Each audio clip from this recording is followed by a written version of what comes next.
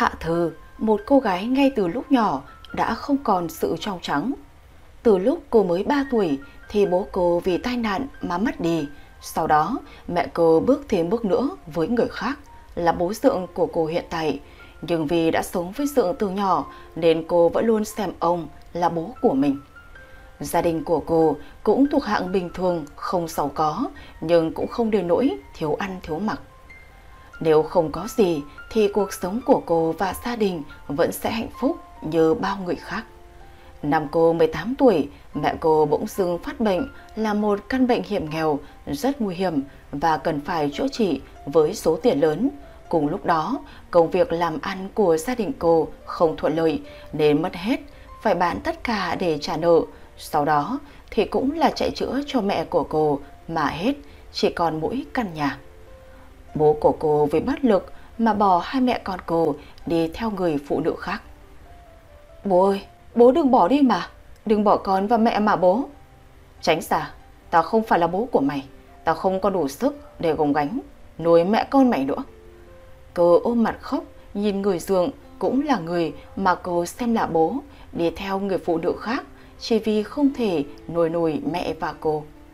Cô bước vào bệnh viện với một mớ hỗn độn trong đầu. Bây giờ kiếm đâu ra số tiền lớn để chữa bệnh cho mẹ đây? Mẹ ơi, con xin lỗi, con không biết phải làm sao để giúp gia đình mình cả, hức. Mẹ cô nhìn mang nghẹn lòng thều thào. Không sao đâu, thử thử, con gái ngoan của mẹ. Tuổi mẹ cũng đã cao, cũng không thể gắng gượng được bao lâu. Mẹ chỉ mong con trưởng thành có thể tự lo được cho bản thân là mẹ mãn nguyện rồi. Đừng nói vậy bà đừng bỏ Thư Thư mà. Giờ con chỉ con minh mẹ là người thân duy nhất mà thôi, hức.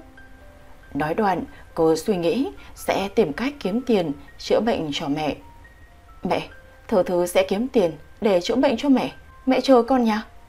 Sau khi trở về nhà, cớ bất lực ôm mặt khóc vì không biết cách gì có thể kiếm ra cả trăm triệu nhanh nhất có thể. Bỗng, một ý kiến nảy ra trong đầu cô. Mình là con gái và còn Trinh, chắc chắn bán thân cũng được giá lắm nhỉ. Hết cách rồi, chỉ đau một lần rồi thôi, rồi sẽ có tiền chữa bệnh cho mẹ. Nói đoạn, cô hạ quyết tâm. Sau đó cô lên phòng tắm rửa sau một ngày mệt mỏi với nhiều biến động. Tắm xong, cô ngã lăn ra giường. Sau đó, cô lướt quét để tìm người mai mối bán thân. Lướt một hồi thì cô cũng tìm thấy. Cô mạnh dạn click vào. Chưa đầy 5 giây thì đã có tin nhắn gửi đến. Xin chào, em cần tôi giúp gì? Cô hơi ngập ngừng nhưng rồi cũng trả lời lại tin nhắn. Chào ạ, vì một vài lý do cá nhân nên em cần một số tiền lớn, chị có thể giúp đỡ em được không? Đương nhiên là có thể rồi, chị hỏi thẳng luôn nhé, em bao nhiêu tuổi và còn Trinh không? Cô đỏ mặt ngại ngùng nhưng vì cần tiền để cứu mẹ nên cô hạ quyết tâm. Em năm nay tròn 18 và còn ạ. Thế thì tốt quá, em cần bao nhiêu và có yêu cầu gì đối với khách không để chị thương lượng và tìm khách hàng phù hợp với em? Vâng, là 150 triệu chị ạ. Ờ, khách bên chị là những đại gia, những doanh nhân giàu có và nhiều lý do kèm với là nhu cầu nữa nên họ rất thích những người trẻ đẹp và còn trong trắng em ạ. Vậy chị cứ chốt vậy trước nhé. Có gì khi tìm được người phù hợp với yêu cầu của em thì sẽ liên lạc với em sau nhé. Vâng, em cảm ơn chị ạ. Chị cố gắng giúp em sớm chị nhé. Tại em rất cần số tiền đó ạ.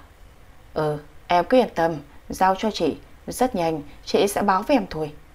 Nhắn tiền xong mà không hiểu sao đỡ mắt cô chụp trào bởi chỉ vài ngày nữa thôi cô sẽ không còn thừa quý giá và sau này rất khó có thể lấy được người mà cô yêu thương.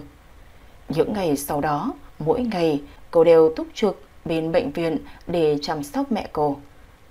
Xin lỗi, thử thử, mẹ nghĩ là mẹ không còn thời gian nữa. Số tiền chữa trị rất lớn, mẹ rất lo lắng cho con. Mẹ yên tâm đi, con lo được mà. Cô cũng rất lo lắng vì đã cả tuần rồi mà người chị ấy vẫn chưa liên lạc. Nhưng sự lo lắng của cô có vẻ là dư thừa vì sau đó người chị ấy cũng liên lạc với cô. Alo, đã có khách hàng yêu cầu người như em. và chịu chi trả phí theo như yêu cầu của em. Thế hả chị? Em cảm ơn chị nhiều nhé. Vậy khi nào thì điều đó diễn ra Cô mừng quýnh lên vì sắp có tiền chữa trị cho mẹ, nhưng mặt cô cũng thoáng buồn vì sắp thất thần. Cảm giác vì đồng tiền mà bán rẻ thần xác thực sự rất rẻ mặt. Ừ, ờ, em đã chuẩn bị tâm lý chưa? Nếu có thể thì tối nay luôn nhé. Cô hơi bất ngờ vì nhanh như vậy, nhưng cô cũng không thể chối từ vì sang tuần sau phải chi trả viện phí cho mẹ rồi. Vâng, em sẵn sàng rồi ạ. Thời gian địa điểm như nào hả chị? Khách yêu cầu 8 giờ 30 tối tại khách sạn Y phòng 102 và vì lý do cá nhân nên khách yêu cầu không cần biết đối phương là ai làm gì, chỉ đơn giản là bóc bánh trả tiền.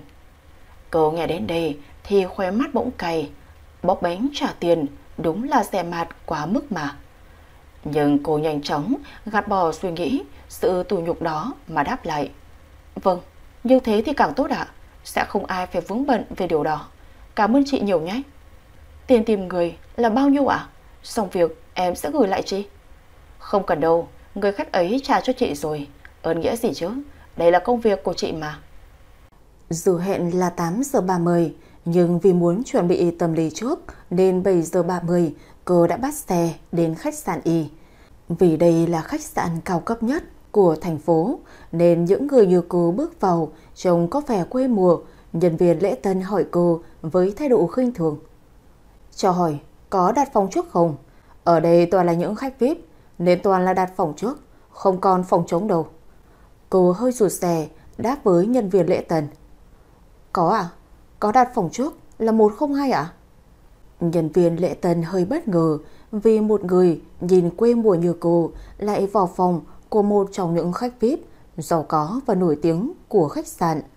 Vậy cho hỏi, quý khách tên là gì ạ? Dạ, em tên là Hạ Thư ạ. À? đúng rồi, ra là em đã được đặt phòng trước. Đây là chìa khóa phòng 102 em nhé. Cô nhận lấy chìa khóa rồi tìm đúng phòng 102 vào. Bước vào phòng là một không gian yên tĩnh bởi khắp căn phòng là màu sắc của ánh đèn vàng nhàn nhạt, nhạt, nhưng cô cũng không quan tâm điều đó. Vì là đến sớm nên cô còn dư nửa tiếng để chuẩn bị. Cô bước vào phòng tắm chuẩn bị nước vì ở đây là khách sạn VIP nên bên trong đủ các loại dầu thơm và cả bồn tắm tràn ngập hoa hồng.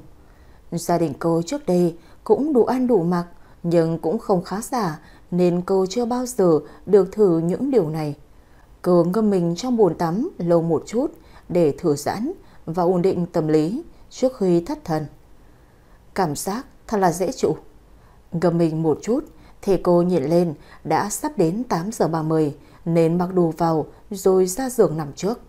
Cô đang cố gắng hít thở sâu để tinh thần thật thoải mái trước khi gặp người đàn ông đó. Đang hít thở thì cô nghe tiếng giày lột cộp trên sàn, biết là người sắp tới nên cô nằm bất động trên giường. Người đàn ông bước vào, không thèm nhìn cô mà bước vào phòng tắm xả nước. Cô nghe tiếng xả nước mà cảm giác hồi hộp không thể tả. Người đàn ông đó bước ra, nhàn nhã nhìn cô rồi lên tiếng. Em là cô gái mà Lisa đã giới thiệu sao? Vâng ạ. À? Ồ, thú vị đấy. Chắc là em cũng đã nghe Lisa nói từ trước rồi. Tôi không thích sự phiền phức. Việc tối nay của em là phục vụ tôi. Và sau đó thì tôi trả tiền theo như em yêu cầu. Không liên quan hay biết mặt gì nhau cả. Giữa chúng ta là quan hệ bóc bánh trả tiền. Nghe đến đây, cảm giác nhục nhã vây kín cô, nhưng cô không còn đường lùi nữa rồi, cô phải có tiền để cứu mẹ nên chỉ đáp. Tôi hiểu rồi ạ. À? Hiểu rồi, thì làm việc mà em nên làm đi chứ. Cô thẹn thùng xấu hổ nhưng cũng phải làm, mở từng cúc áo và cởi bỏ những gì có trên cơ thể, chỉ còn để lại chiếc quần nhỏ bên dưới. Dù không nhìn rõ mặt, nhưng những đường cong cuốn rũ của một cơ thể mới lớn hiện ra muôn một trong đôi mắt của người đàn ông kia. Anh ta vồ lấy cô như một con sói đã bị bò đói lâu nằm, nay gặp miếng mồi ngon. Một cảm giác đau đớn ập đến, rất đau nhưng cô không còn cách nào khác là cắn chặt môi, chịu đựng cơn đau. Và để mặc cho người đàn ông đó muốn làm gì thì làm. Nước mắt cô lan dài vì cô biết như thế là chấm dứt rồi, cô sẽ chẳng có ai dám lấy cô nữa.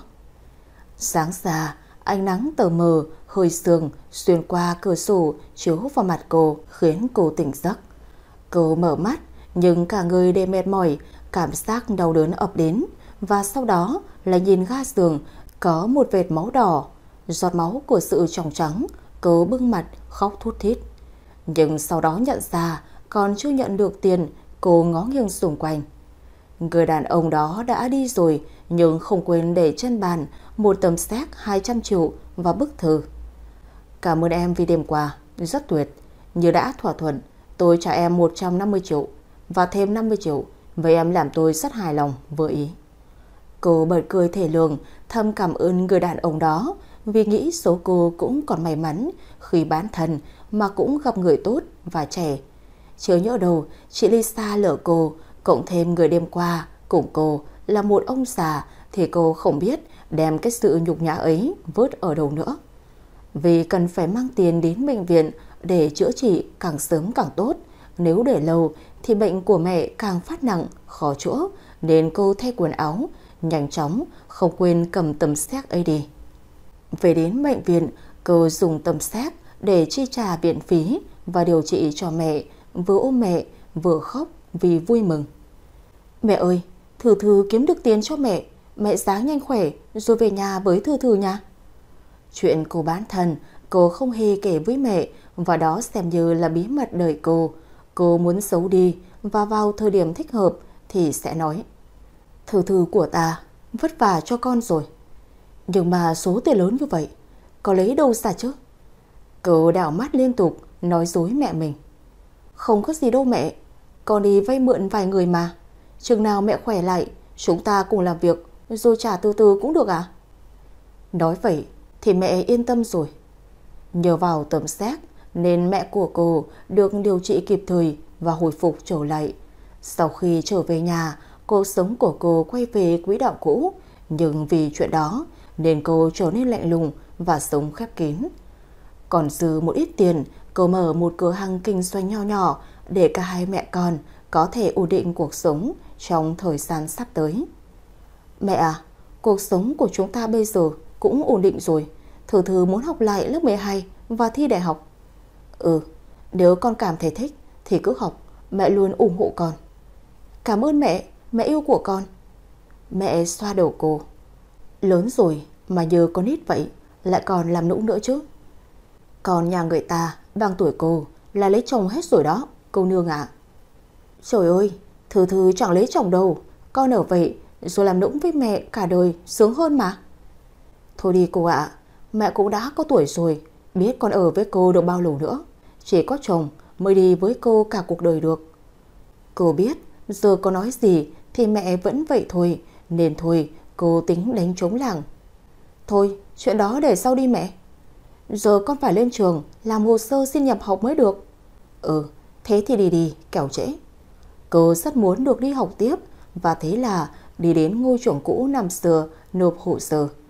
Vài ngày sau, cô được nhà trường thông báo là được đi học tiếp. Trường nhận Thư Thư lại rồi, Thư sẽ cố gắng học, rồi sau này là một công việc giàu có, cả mẹ và con sẽ không khổ nữa. Thôi đi, đừng có nói trước, sau này mày lấy chồng giàu, cho mẹ mày nhờ, rồi mày sống hạnh phúc là mẹ vui lắm rồi. Mẹ cứ nhắc chuyện chồng con, mẹ muốn đuổi con ra khỏi nhà nhanh vậy hả? Thôi thôi, ai mà dám đuổi cô, phụ mẹ đem hàng ra bán cho rồi, không tào lòng nữa. Những ngày tháng vui vẻ cứ thế trôi qua với hai mẹ con cô.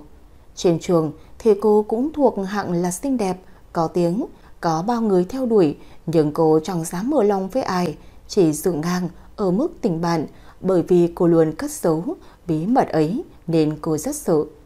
Hạ Thư cũng có trời thân với vài người bạn, trong đó cô thân nhất là Hứa Vì. Hứa Vì, theo cảm nhận của cô, là một cô gái có tính cách hơi ca tính một chút, nhưng cũng rất dễ thương và đặc biệt là cô rất thích chơi với Hạ Thư. Không hiểu sao, cái đầu gặp Thư Thư, cô ấy đã cảm thấy Thư Thư rất dễ thương và muốn được làm bạn với cô để đã bắt chuyện và sau đó thì hai cô nàng bắt được sóng, hiểu ý nhau rồi thân luôn từ đó. Gia đình vì vì rất giàu có, nhưng cô ấy không vì vậy mà kêu với ai. Cô ấy cũng thường xuyên về nhà Hạ Thư chơi, rồi giúp mẹ cô bán hàng, nên mẹ rất thích hứa vì. Hôm nay là sinh nhật của Vì Vì. Vì là con nhà giàu nên Vì Vì cũng thuộc dạng biết ăn chơi, tiêu tiền một chút. Cô cũng có anh người yêu, hết mực yêu chiều nên định tối nay mời mọi người và cả Hạ Thư đi bà rồi giới thiệu anh ấy với mọi người. Alo, Thư Thư à, hôm nay sinh nhật tớ, nhớ đến dự đó nha. Ơi, tớ biết mà, làm sao lại quên sinh nhật bạn thân được? Thế tổ chức ở đâu và mấy giờ vậy? Tớ tổ chức tại ba tầm 9 giờ nha. Hôm nay tớ có dắt theo người yêu nữa để ra mắt mọi người luôn. Thế nhé, nhớ đến đúng giờ đấy, không được bùng kèo, không đi tớ giận đấy. Ừ, ok cô nương, cậu dọa tớ đấy à? Ai biết gì đâu, không đi cũng phải đi. Tớ mà thấy cậu không đến là về nhà, xách cổ cậu đi đấy. Ok, biết rồi, tớ cúp máy đây, bye. Vì hôm nay là sinh nhật của Vivi, lại tổ chức ở ba nên cô hơi khó xử trong việc chọn đồ. Là kiểu người không ăn diện nên cô cũng ít khi sắm đồ. Giờ đây phải vậy đấy. Thơ thơ suy nghĩ rồi cuối cùng chọn cho mình một chiếc váy ôm body khoét lưng. Khi mà cô mặc vào thì kết hợp với body hoàn hảo của cô trông cực kỳ quyến rũ, xinh đẹp.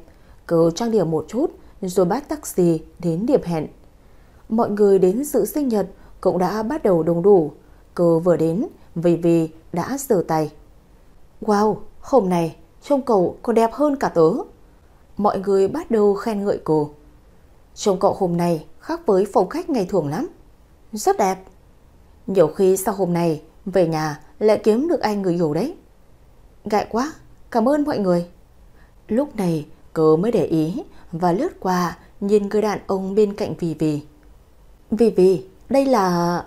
À, nãy giờ quên giới thiệu với mọi người, đây là Trịnh Khuyết, bạn trai của tớ. Vì Vì huyết tay Trịnh Khuyết. Này, anh giới thiệu một chút cho mọi người biết đi chứ.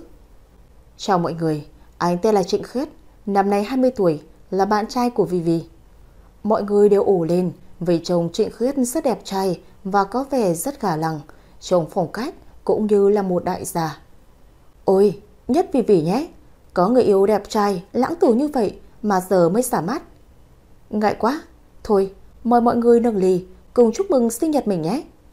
Mọi người đều cùng nhau khen ngợi bạn trai của Vì Vì, còn cô, Hạ Thư, chỉ nghe Vì Vì giới thiệu là người yêu thôi, sau đó thì chẳng thèm quan tâm, nhàn nhạt, nhạt cầm ly rượu vang đỏ, nhấp mùi. Sau lần đó, có một nỗi sợ vô hình cứ về kín cô, khiến cô khi nhìn thấy đàn ông đều chẳng thèm quan tâm. Nếu có để ý thì cũng chỉ là bạn bè bình thường thôi. Đang mải mê uống rượu, nhưng cô vẫn cảm giác có một ánh mắt thèm khát nhìn cô. Cô quay qua nhìn thì đó là Trịnh Khuyết, bạn trai của Vì Vì. Cô cứ cảm giác người bạn trai này của Vì Vì là một người không đàng hoàng cho nên suốt cả buổi tiệc rất dè chừng với anh ta. Sau khi tan tiệc về đến nhà thì Trịnh Khuyết nhắn tin với Vì Vì hỏi về Hạ thờ. Bạn của em trông có vẻ hiền lành và ít nói nhỉ? Anh hỏi ai vậy? Cái cô mà như em kêu là bạn thân ấy. À, đó là Vì Vì, bạn thân nhất của em. Tính nó từ xưa đến nay là vậy rồi, lạnh lùng ít nói. Ai thân thì nó mới nói nhiều được một chút. À, em có muốn bạn của em có bạn trai để cô ấy cởi mở hơn không? Anh có một vài người bạn muốn giới thiệu với cô ấy. Ồ, vậy thì tốt quá rồi. Em cũng muốn thử thử có bạn trai để cô ấy sớm vui vẻ hơn, chứ trông mặt lúc nào cũng buồn buồn. Ừ, vậy em cho anh xin WeChat của cô ấy, để anh giới thiệu với bạn bè của anh nhé. Ok, WeChat của cô ấy là... Vì vì liền đọc WeChat của Hạ Thư cho anh ta biết. Ừ, cũng muộn rồi, em ngủ sớm đi nhé. Anh bận công việc một chút. Nói thì là vậy, nhưng Trịnh Khiết lại át WeChat qua Hạ Thư rồi nhắn tin. Chào em, anh là Trịnh Khiết, bạn của Vivi đây. Vâng, chào anh. Lúc nãy trong bữa tiệc sinh nhật có nghe Vivi giới thiệu rồi, mà khuya rồi, anh nhắn tin cho em có gì không vậy? Như vậy Vivi sẽ hiểu lầm đấy. Thực ra anh với Vivi chỉ là bạn thôi, chứ không phải người yêu như em nghĩ đâu. Nói vậy có ý gì chứ? Lúc nãy hai người cũng đã công khai nhau. Anh nói vậy không sợ Vi Vi buồn hả? Anh chỉ sợ em buồn thôi, chứ vì vì anh chả quan tâm. Vì vì thích anh, nhưng anh không hề thích lại. Nhưng vì hôm nay là sinh nhật cô ấy, nên anh buộc lòng phải như vậy. Và vì trong bữa tiệc rất đông người, nên anh chỉ có thể làm theo lời cô ấy. Còn em, ngay từ lúc anh nhìn thấy, thì một cảm xúc bỗng dâng lên trong lòng. Anh biết là đã yêu em mất rồi. Hạ thờ, anh yêu em. Đồng ý là bạn gái anh nhé. Anh bị điên thật rồi. Tôi không bao giờ yêu bồ của bạn và cũng không yêu loại người như anh đâu. Đồ lù manh. Anh biết vì chuyện lúc nãy mà em hiểu nhầm anh. Em chửi anh sao cũng được, nhưng anh vẫn yêu. Hãy cho anh một cơ hội. Thứ đàn ông mới vừa sinh nhật bạn gái về lại đi tán người khác. Anh nghĩ anh xứng với tôi sao? Cút đi. Hờ, cô nghĩ cô là ai? Có ra lắm sao? Chẳng qua nhìn ngon nghề, định tán chơi mà tranh hạ cứng. Nếu đã nói vậy rồi thì lượn đi cho nước nó trong. Bà đây không cần mấy loại đàn ông như mày đâu. Cút đi, trước khi ba mày nổi điên. Nghe từ lúc trong bữa tiệc, cô đã thấy tên này là người đàn ông không tử tế rồi. Vừa về lại gặp cảnh này quá bức xúc nên chửi hắn một hơi. Thực ra ngày xưa cô cũng rất đánh đá, ai đụng gì là y như rằng bị cô chửi đến mức đen mặt, không cãi lại được. Nhưng sau này, vì những biến cố xảy ra trong gia đình mà cô trở nên e rẻ hơn, phải biết nhiều người khác chỉ vì đồng tiền. Bây giờ gặp ngay thằng cặn bã này khiến cô không chửi không được. Sau đó cô nghĩ ngày mai phải kể cho Vì Vì thức tình cô bạn thân của cô không thể để cô ấy yêu loại lưu manh này được. Lúc đến trường thì cô đã bắt gặp Vi Vi và nhanh tay kéo cô ấy kể chuyện. Chuyện gì vậy? Thử thư, sao gấp vậy? Lại đây, tớ kể chuyện, đảm bảo cậu sốc toàn tập. Sau đó thì đưa loạt tin nhắn mà hôm qua tiền khuyết nhắn với cô. Vì vì thực sự bất ngờ và choáng váng. Anh khuyết thực sự nhắn tin với cậu như vậy sao? Ừ, chứ cậu nghĩ mình lấy đâu ra loạt tin nhắn này để gửi cậu? Không, anh ấy yêu mình như vậy, sẽ không đối xử với mình như vậy đâu. Vì vì à, đừng mù quáng nữa, cậu không thấy những tin nhắn anh ta gửi trông rất tởm sao? Có loại đàn ông nào vừa sinh nhật bạn gái về lại đi tán người khác chứ? Vì vì sợ đến mức run người. Hèn gì, hôm qua hắn bảo mình đi ngủ sớm là để làm điều này, đủ điều cáng. Hạ thư an ủi vì vì. Thôi, không có gì đâu, loại đàn ông như vậy cậu không nên để tâm làm gì. Ừ, thôi vào học đi, tớ ổn mà. Sau khi tan học, Vì Vì liền gọi chia tay với Trịnh Khiết. Nếu không yêu tôi, thì cũng không cần phải như vậy. Đừng làm như vậy, bẩn lắm, tôi khinh. Chúng ta từ giờ, đường ai đấy đi. Tút tút.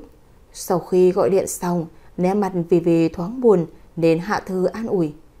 Hắn ta là loại người không đáng để cậu bận tâm. Vui lên, tối nay đi nhậu xả stress, tớ bao. Vì Vì tuy buồn, nhưng khi nghe Thư Thư nói vậy thì rất vui bởi vì bạn của cô là người rất tiết kiệm, hiếm khi thấy Thư hào phóng như vậy. Địa điểm mà hai cô nàng chọn là một quán bar có tiếng trong thành phố. Vì vì nói mãi, Thư Thư mới chịu tới đây với những nơi xa xỉ như này rất đắt đỏ. Gần đây, công việc kinh doanh của mẹ và cô rất thuận lợi nên cũng không phải không có tiền, chỉ là cô muốn tiết kiệm chút nào để dành cho sau này chút ấy. Nhưng mà thôi, chiều lòng cô bạn vì vì thân thiết của cô một hôm vậy. Đến nơi, hai cô nàng chọn một bàn chính diện chỉ để ngồi, bắt đầu nhậu, vì vì buồn và uống liên tục. Thư thư à, cảm ơn cậu nhiều lắm. Nếu không có cậu thì tớ sẽ không nhận ra được thằng khốn đó như thế nào.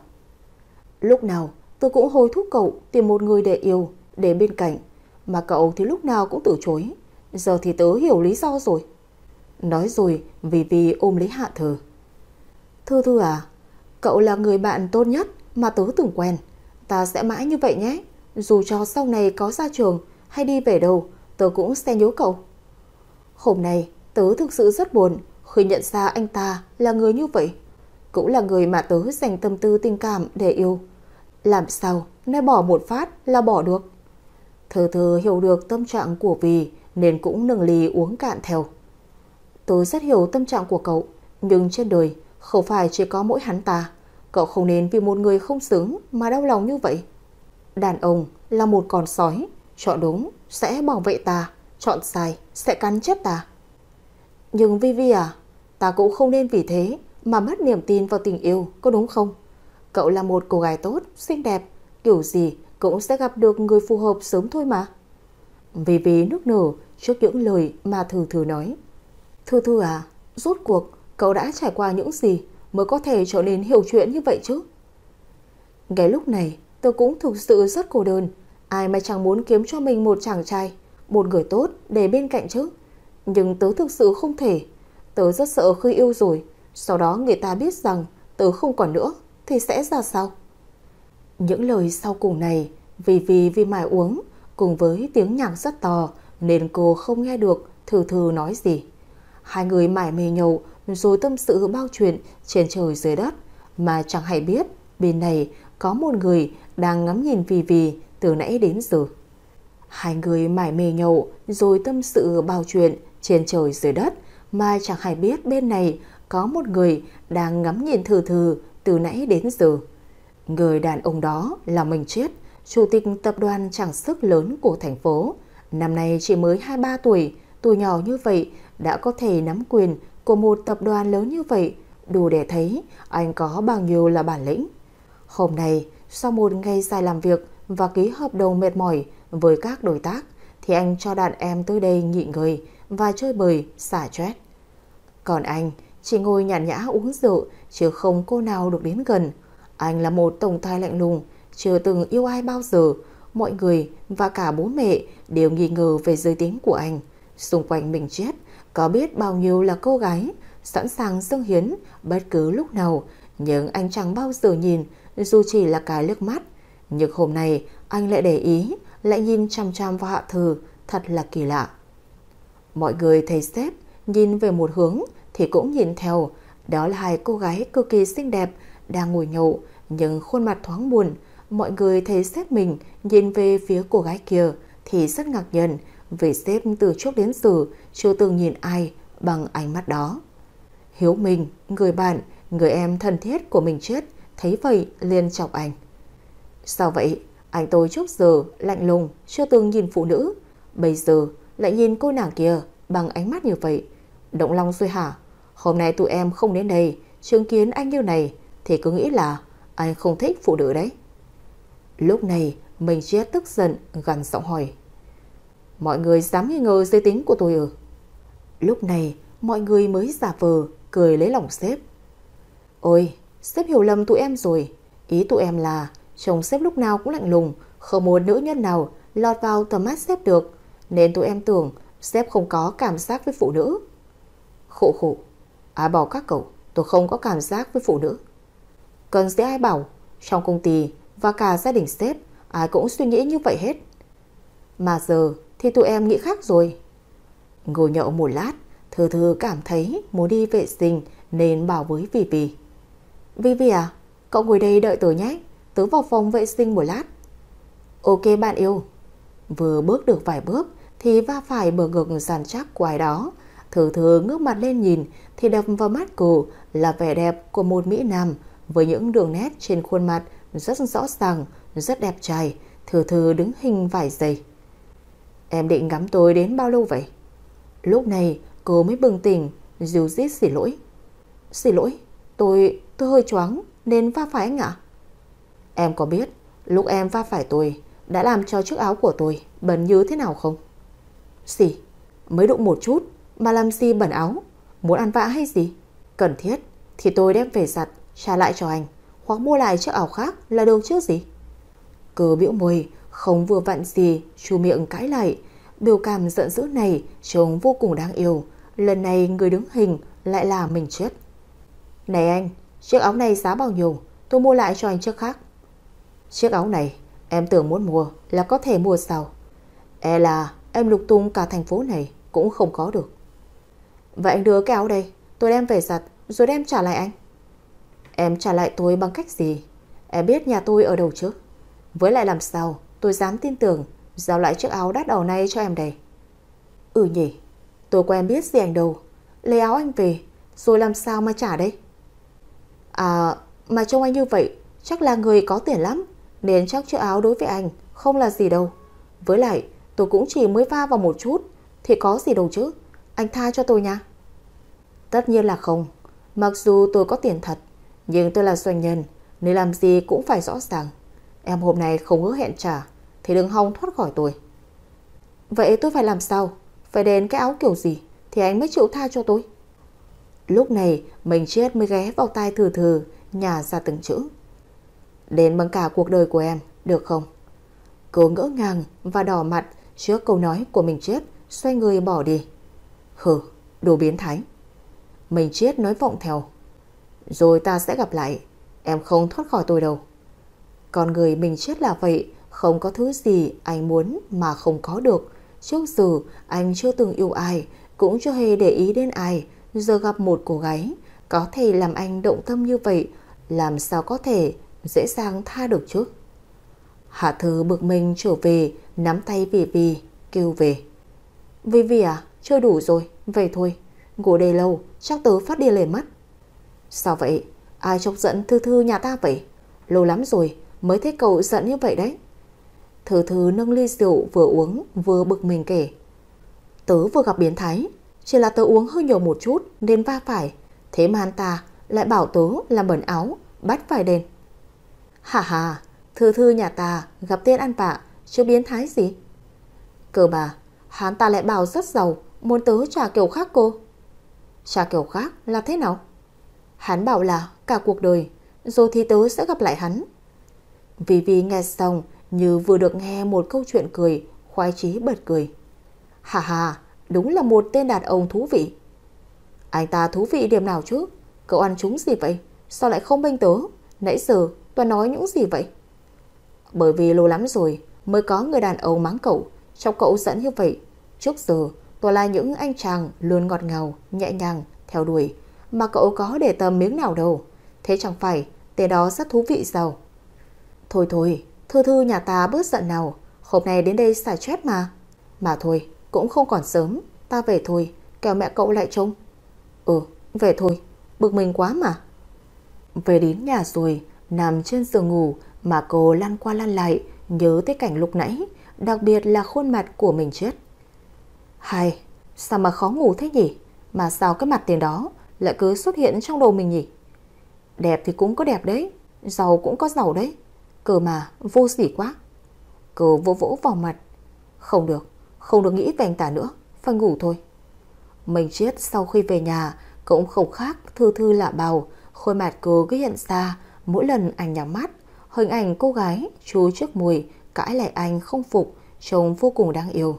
Trước giờ, xung quanh anh, Toàn là những cô gái ăn mặc gợi cảm, Khoe hết trước mặt anh Những gì trên cơ thể, Sẵn sàng lên giường lúc nào anh muốn Nhưng anh không hề để tâm đến Nhưng thử thử lại trông rất bình thường Nhưng lại thu hút anh Khiến anh cũng cảm thấy rất lạ Nghĩ về khuôn mặt cô Mà anh bất giác mỉm cười Sau đó chìm vào giấc ngủ ngon lành Thời gian cứ thế dần trôi Cuối cùng cũng đến lúc tốt nghiệp Cả Thư Thư và Vì Vì đều đậu đại học ở nơi mà mình mong muốn.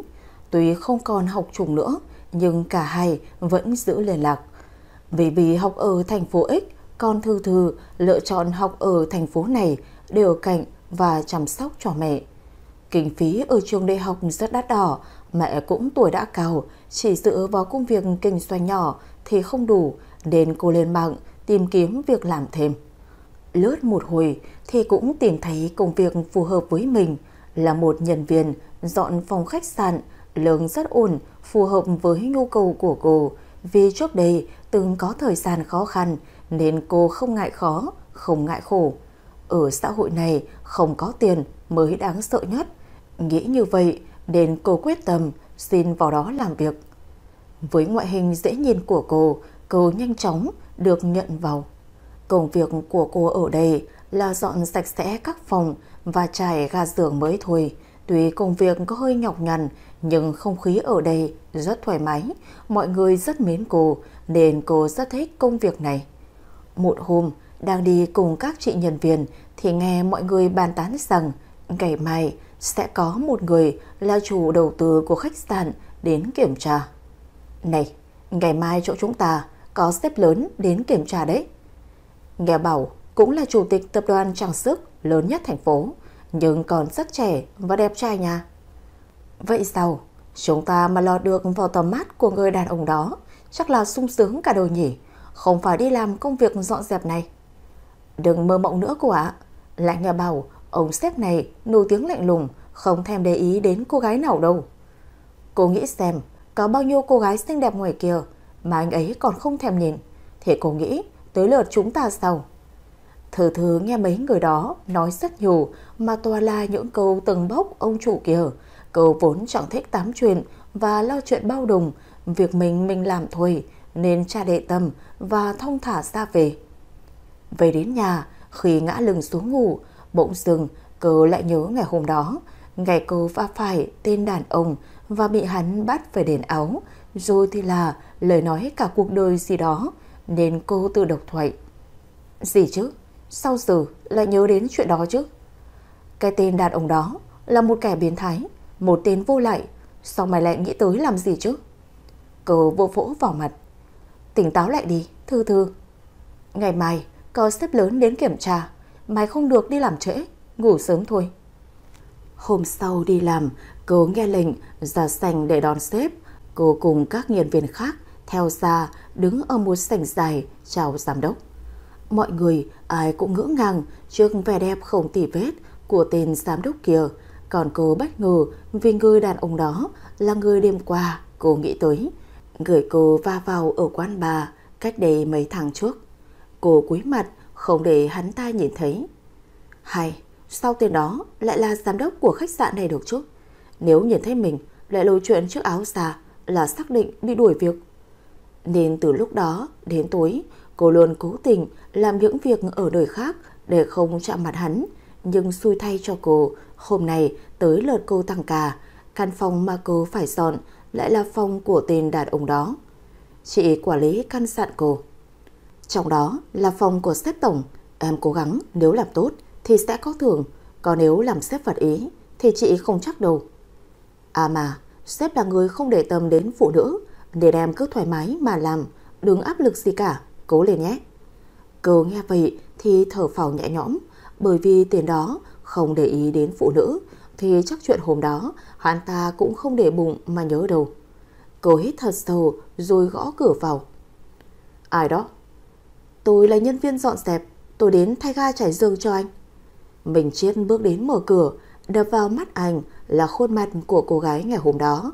Cô gái khiến anh ngay từ lúc ngồi đã rời ánh mắt đến chỗ cô. Cô gái mà anh cố tình va phải, chủ miệng lên cãi lại anh. Ra là em mà. Em thấy tôi nói có đúng không? Em không trốn khỏi tôi đâu. Chuyện kéo tôi vẫn đang đợi em trả. Cô cúi gặp mặt, lý nhí trả lời. Tôi không có, anh nhận nhầm người rồi. Nếu em không phải người đó, tại sao phải cúi mặt? Ngẩng lên để tôi nhìn, xem tôi nhầm lẫn hay trí nhớ của tôi có vấn đề chăng? Cô ngước mặt lên nhìn anh. Anh đưa mặt lại gần trước mắt cô, nói. Đúng là khuôn mặt này. Hôm trước còn vào ba nhảy nhót. Hôm nay lại đến đây làm nhân viên phục vụ. Những lời mà anh nói chỉ là cố ý châm chọc cô, chứ không hề có ý gì khác. Nhưng cô nghe vào lại tưởng rằng anh khinh người nên tức giận tát vào mặt anh. Anh tưởng anh là sếp thì ngon lắm sao? Là có quên gì và người khác như vậy sao? Đó là cuộc sống của tôi. Anh là người ngoài thì biết cái gì mà cao giọng nói tôi như vậy? Đồ vô sỉ. Cô quay lưng muốn bỏ đi. Lúc này nước mắt đã tràn ra khóe mì. Cô thực sự rất tức giận. Hôm đó chỉ là bạn của cô vì vì đang rất buồn và đòi vào đó nên cô đành chiều theo ý bạn chứ cô không phải là loại người ăn chơi thường xuyên vào những nơi đó. Với lại, đây cũng là công việc của cô, giúp cô ổn định cuộc sống. Anh ta là sếp thì ngon lắm sao, sao lại khinh thường những người như cô. Chưa bước được hai bước, đã bị một lực kéo cô quay ngược trở lại, khóa kín phòng. Này, em dám tác tôi? Thì sao, anh cũng chỉ là sếp trong khách sạn này thôi, cùng lắm là tôi nghỉ việc. Anh lấy tư cách gì khinh thường người khác như vậy? Cô vừa nói, nước mắt vừa trực trào, mọi sự cố gắng của cô chỉ là không muốn những chuyện năm xưa lại xảy ra. mọi thứ đều chỉ vì đồng tiền, nhưng cũng không có nghĩa là cô bị anh đối xử như vậy. Anh nhìn thấy như vậy thì cảm thấy khó xử, không biết phải làm sao nên ôm cô vào lòng an ủi. Nếu lời nói của tôi làm em suy nghĩ và khiến em như vậy thì cho tôi xin lỗi. Hôm đó tôi đã thấy em ngồi buồn cùng với bạn em rồi. Nhưng em biết rồi đấy, con gái vào những nơi như vậy thực sự không tốt chút nào. Hôm nay lại gặp em ở đây, tôi thực sự bất ngờ nhưng cũng rất vui. Vốn chỉ là định chăm chọc để làm quen với em một chút. Nhưng những lời nói ra lại khiến em suy nghĩ là khinh thường em. Tôi thực sự không có ý đó. Xin lỗi. Cô một lần nữa lại được chạm mặt vào khuôn ngực vạm vỡ của anh, cảm thấy ngượng ngùng đỏ mặt nhưng cũng rất ấm áp. Trong lòng dâng lên một cảm xúc khó tả, không giải thích được. Cô đẩy anh ra và nói Thôi được rồi, anh cũng đã giải thích, tôi đi làm việc của mình đây. Anh lại lần nữa kéo cô vào lòng. Hôm nay đã nói rồi, thì nói trò luôn. Không biết là em đã nghe nói hay chưa, nhưng tôi nổi tiếng là một người lạnh lùng, chưa từng có người phụ nữ nào lại gần. Thì sao chứ? Em còn hỏi thì sao ừ, Tôi vốn dĩ là người như vậy, nhưng hôm nay lại kiên nhẫn đứng cạnh em, giải thích và xin lỗi lời nói khiến em hiểu lầm. Em không cảm thấy là mình có gì đặc biệt sao? Là ngốc thật hay là dáng ngốc vậy? Cô nghe như vậy thì trong lòng không hiểu sao lại cảm thấy rất vui. Tôi thì có gì mà đặc biệt chứ? Người như anh thì chắc là có rất nhiều cô gái xung quanh. Tôi chắc chắn không phải là người để anh bận tâm. Đó là điều mà tôi muốn nói. Em không phải là chẳng có gì. Nhưng so với những cô gái ngoài kia thì chắc là chưa đủ. Nhưng tôi lại bị thu hút bởi em ngay từ lúc ở quán bar. À, tôi còn chưa tính sủ em chuyện kéo. Cô lại chu miệng cãi lại. Gì chứ? Cái đó không hề bẩn tí nào. Nhưng em va phải tôi, em phải đền cho tôi chứ. Anh ghé vào tai cô, nói rằng Lại là biểu cảm này, rất thú vị. Em có biết, mỗi lần em làm biểu cảm này là người tôi rất khó chịu hay không? Cô ngượng tới mức đỏ mặt như trái cả chùa. Thì tôi phải làm sao? Ai mới bỏ qua chuyện đó chứ? Tôi cũng đã nói rồi, nếu em muốn trả thì trả bằng cuộc đời. Còn nếu em muốn làm thì là làm vợ. Cái đồ vô sỉ này, không nói chuyện vẻn nữa, tôi làm việc đây. Ok, mời em cứ tự nhiên. Sau khi làm xong công việc, cô trở về nhà, mẹ hỏi cô. Hôm nay, chồng con có vẻ hơi mệt mỏi, công việc có điều gì khó khăn hả? Đâu có, con bình thường mà mẹ. có đói không? Mẹ làm món gì cho con ăn nhé.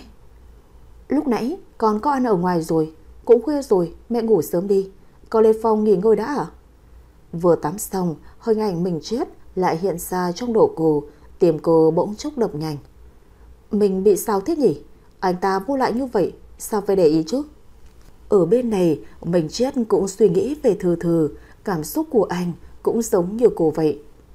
Mình vậy mà, lại động tâm với cô gái này. Nửa đêm, vì hình bóng cô cứ hiện ra trong tâm trí, khiến anh không ngủ được, lên gọi điện xuống quản lý, hỏi thông tin của cô. Quản lý thầy sếp, giờ này đã rất khuya, lại đích thân gọi xuống, hỏi thông tin của nhân viên nên cảm thấy rất lạ. Dạ, alo. Alo, là tôi đây. Vâng, sếp có chuyện gì? Sao nửa đêm lại gọi thế ạ? Cho cô 5 phút để gửi thông tin cô gái lúc nãy dọn phòng của tôi gửi đến chỗ tôi. Thực sự rất bất ngờ khi người sếp hỏi lạ thử nghĩ rằng sếp tổng trước giờ chưa từng quan tâm đến người phụ nữ nào, bây giờ lại đi hỏi thông tin của cô ấy. Sợ rằng lúc nãy Thư Thư đã làm gì khiến sếp không hài lòng nên cô rất lo lắng. Thư ơi là Thư, em đã chọc gì sếp, khởi sếp phải đích thân gọi xuống lấy thông tin vậy chứ. Nghĩ là như vậy nhưng cô đâu dám chậm trễ, liền lên phòng đưa cho sếp. Dạ, đây là thông tin mà sếp cần ạ. Ok, cảm ơn cô. Xin lỗi, sếp cho em hỏi một chút được không ạ? Lúc nãy cô nhân viên dọn phòng ấy có làm gì không vừa ý sếp không ạ? Không, rất hài lòng, rất vừa ý. À, vâng. Mà tôi lấy thông tin nhân viên để xem xét phải đến lượt cô biết không? Nhiều chuyện. Xin lỗi, xin lỗi sếp, sếp nghỉ ngơi đi ạ. Sau khi nhận được thông tin từ quản lý khách sạn, mình chết rất hào hức. Hạ thư, cái tên rất đẹp. Trên đó cũng có địa chỉ nhà của cô và các thông tin khác. Anh bất giác mỉm cười khi nghĩ về khuôn mặt của cô lúc mà biết anh đến nhà thì thế nào nhỉ? Thừ thừ, em chỉ có thể là của tôi. Hôm sau, mẹ của cô đang dọn quán thì thấy một chiếc ô tô đậu trước cửa. Tuy không biết gì về xe lắm, nhưng đây là chiếc mà bà chưa từng thấy qua nên nghĩ chắc chắn là rất đắt. Nhưng bà cũng không để tâm vì điều đó lắm. Chỉ thế là, vì người ta dừng ngay trước cửa hàng. Sau đó thì một người đàn ông từ trên xe bước xuống. Xin lỗi, cho hỏi cậu tìm ai vậy? Vâng, cho cháu hỏi đây có phải là nhà của Hạ Thư không ạ? Bà hơi ngỡ ngàng vì người đàn ông phía trước trông rất bảnh trai, nhìn phong cách là biết không phải một người tầm thường lại đi hỏi tên con gái bà. Trước giờ, thử Thư chưa từng kết giao hay đưa một người đàn ông nào về nhà cả. Nhưng nhìn người này cũng có vẻ là một người lịch sự, bà bảo. Vâng, tôi là mẹ của nó. Cậu tìm Thư Thư có việc gì sao vậy? Hôm nay nó lên giảng đường học rồi. Nếu cậu có chuyện gì, có thể nói với tôi, tôi giúp cậu chuyển lời. À không, hôm nay cháu đến đây là để gặp và chào bác thôi à? Cháu xin tự giới thiệu, cháu tên là Minh Chết, là người yêu của Thư Thư ạ. Từ trạng thái ngỡ ngàng mà mẹ của cô chuyển sang bất ngờ vì ba chưa bao giờ nghe con gái nói đến chuyện này và đặc biệt lại có thể quen một người đàn ông như thế này nếu đây là sự thật, bà thực sự rất vui. Cậu, cậu nói sao? Cậu là bạn trai của Thư Thư nhà tôi? Vâng ạ. Nhưng trước giờ nó chưa từng nói với tôi về điều này bao giờ. Là vì cô ấy ngại đấy ạ. Thế nên hôm nay cháu mới đến đây để cho hỏi và ra mắt bác ạ. Mẹ của cô vui mừng ra mặt. Thế thì tốt quá. À quên, nãy giờ để cháu đứng đây lâu như vậy. Xin lỗi, mời cháu vào nhà nói chuyện nhé. Vâng ạ. Thế cháu với Thư Thư nhà cô quen nhau bao lâu rồi? Cũng khá lâu rồi ạ. Nhưng mà việc gì cũng cần phải có sự đồng ý của gia đình. Nên cháu đến đây để xin bác cho cháu với Thư Thư quen nhau ạ Ừ, tất nhiên là được rồi. Cô thực sự rất vui vì điều này. Trước giờ, Thư Thư nhà cô chưa từng yêu ai, cũng chưa từng sát ai về nhà cả. Bạn bè xung quanh nó chỉ toàn là con gái thôi. Mà cháu biết đấy, con gái thực sự đôi lúc rất yếu lòng, cần phải có một người đàn ông ở bên để che chở. Vâng ạ. Mình chết nghe những lời mà mẹ của cô nói thì cảm thấy rất vui vì trước giờ cô chưa từng yêu ai. Thế gia đình cháu thì thế nào? Nó đã gặp chưa? Vẫn chưa ạ. Cháu định sẽ xin phép bác rồi sau đó đưa em ấy về ra mắt nhà cháu ạ. Ừ, như vậy là được rồi, cố gắng nhé. Vâng, cũng muộn rồi, cháu xin phép bác. Vừa vào xe ngồi, mình chết mỉm cười vì chỉ cần mẹ của cô đồng ý cho hai người quen nhau thì chả phải mọi chuyện sẽ rất thuận lợi sau. Bên này, Thư Thư đang ngồi học mà cứ hắt xì liên tục như kiểu bị ai đó nhắc tên. Nếu cô nghe được những lời mà mình chết nói với mẹ của mình thì chắc là tức chết. Thật là một con người vô sỉ mà, cờ và anh chỉ mới gặp nhau chưa tới ba lần mà anh có thể nói dối trắng trộn với mẹ cô như vậy, lại còn bảo là cả hai đang quen nhau nữa. Thật là hết nói nổi. Về đến khách sạn, anh liền nói với Hiếu mình. Cậu đi bảo với mọi người, Thơ Thơ là bạn gái của tôi, sắp xếp cho cô ấy một công việc khác nhẹ nhàng hơn. Hiếu Minh nghe được những lời này từ chính miệng sếp thì kỳ thực bất ngờ đến mức không thể tả nổi. Này anh, cô gái đó là cái cô ở trong quán bar có đúng không? Ừ. Ồ, wow, anh tôi trước giờ là một người nổi tiếng lạnh lùng mà bây giờ có thể như vậy, thật là một cô gái đặc biệt. Có muốn tôi trừ hết lương tháng này không? Còn không nhanh đi. Vâng vâng, em đi ngay đi ạ. À? Sếp đừng chủ lương mà tụi em nhé. Những giây phút sau đó là cả khách sạn náo loạn lên vì thông tin Hạ Thư là người yêu của sếp. Này, cái con bé Thư ấy là người yêu của sếp tổng đấy. Ừ, có thể lọt vào mắt xanh của sếp thực sự là không dễ dàng, ngưỡng mộ thật sự. Vậy mà trước giờ chúng ta không biết gì hết. Nhiều lúc nó không sai lại mang nó, không biết nó có về mách lại sếp không nhỉ? Gì chứ, chồng nó hiền lành vậy mà, chỉ nghĩ nó kể thì bây giờ chị em mình còn có cơ hội đứng đây không? Ừ nhỉ, cơ mà nó giấu tốt thật đấy. Cả chỗ này không ai biết cả. Nếu không có lệnh của sếp, chẳng ai hay gì đâu. Thôi thôi, đi làm đi. Sếp mà biết ở đây tám chuyện thì bị nghỉ việc cả lũ đấy. Hiếu mình còn thật tốt khi về nhà kể với cả nhà mình chết về việc ảnh quen của bé đó. Từ lúc từ Trung trở về, mọi chuyện đến với cô rất bất ngờ khiến cô không kịp tiếp nhận. Sau khi trở về nhà, vì mẹ đang bận bán ở cửa hàng nên cô không gặp và thay đồ chuẩn bị đến khách sạn làm việc. Đến nơi, mọi người ai cũng cười và chào cô. Lạ thật, hôm nay ở đây có chuyện gì sao? Cho mọi người vui vẻ thế nhỉ? Bước đến phòng thay đồ của nhân viên dọn phòng thì gặp chị quản lý. May quá, gặp em ở đây rồi, đi theo chị lên nhận việc nhé. Em được chuyển lên là bộ phận chăm sóc khách hàng đấy. Sao lại chuyển vậy ạ? À? Đây là lệnh của sếp. Nhất em nhé, là người yêu sếp mà bao lâu này giấu kỵ quá. Gì chứ? Em là người yêu sếp lúc nào?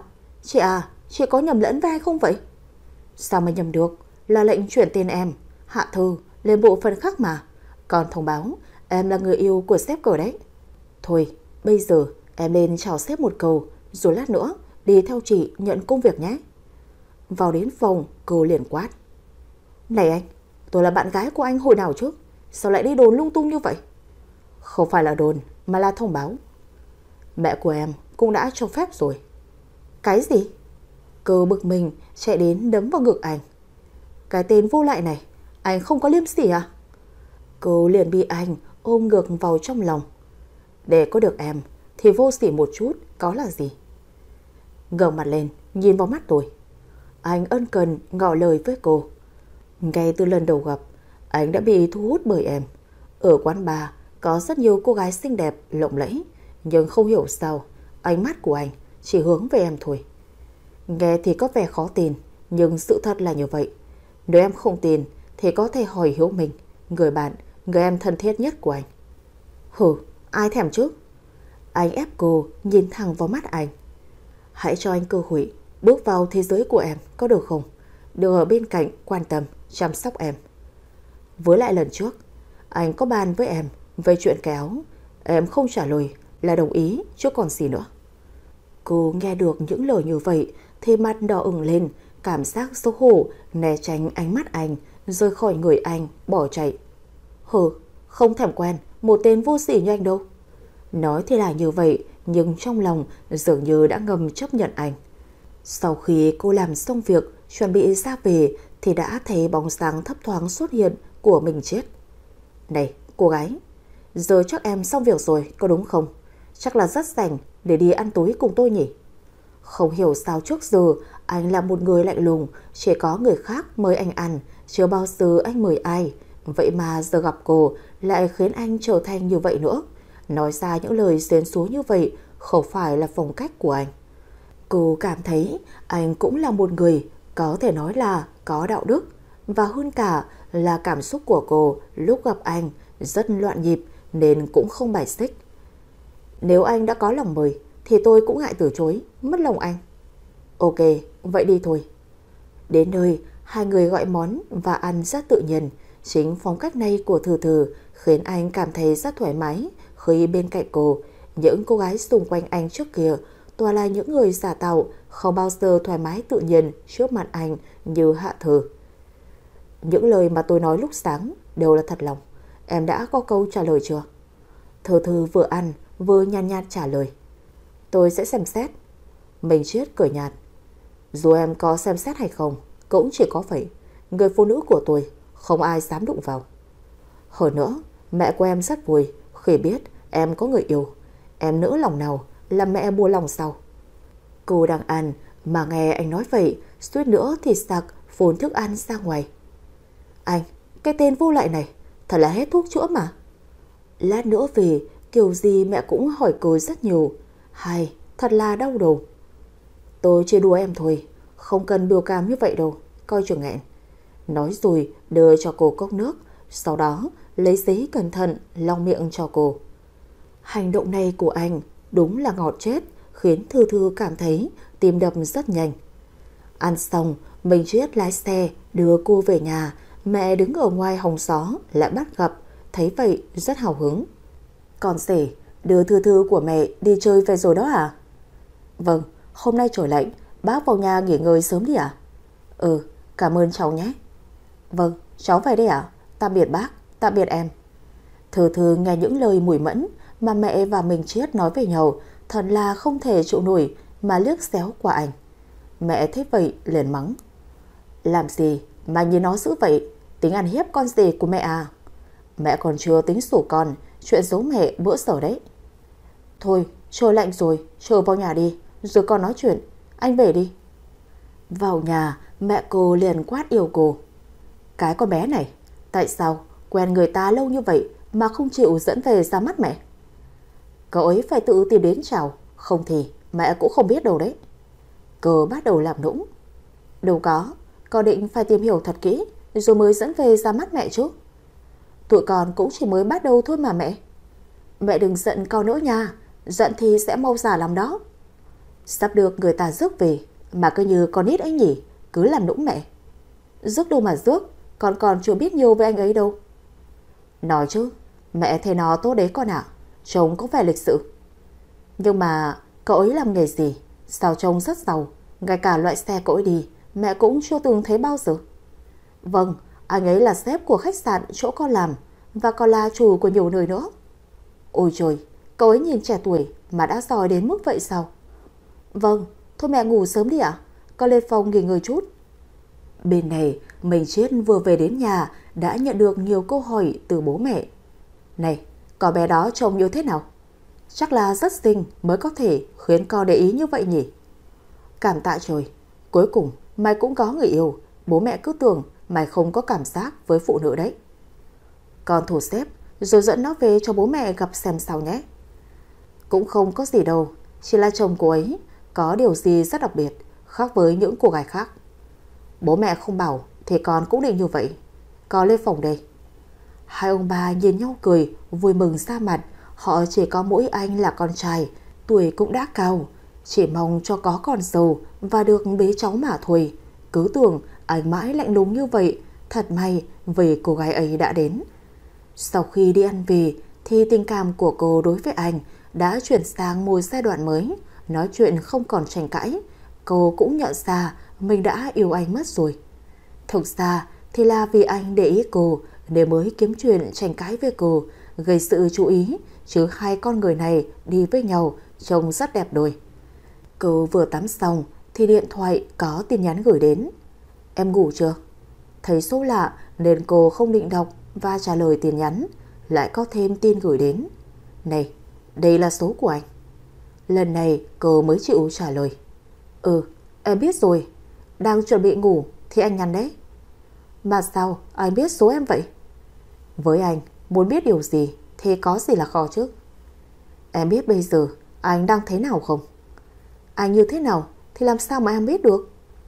Anh nhớ em. Ây da, thế này mà bảo là người lạnh lùng, chưa từng nhìn người phụ nữ nào, điều quá. Nói thế này thì cả khối cô đổ cờ đấy, trông có vẻ nhiều kinh nghiệm thế mà. Đâu có, anh lạnh lùng thật mà, anh không cần làm gì, cũng khối cô đổ.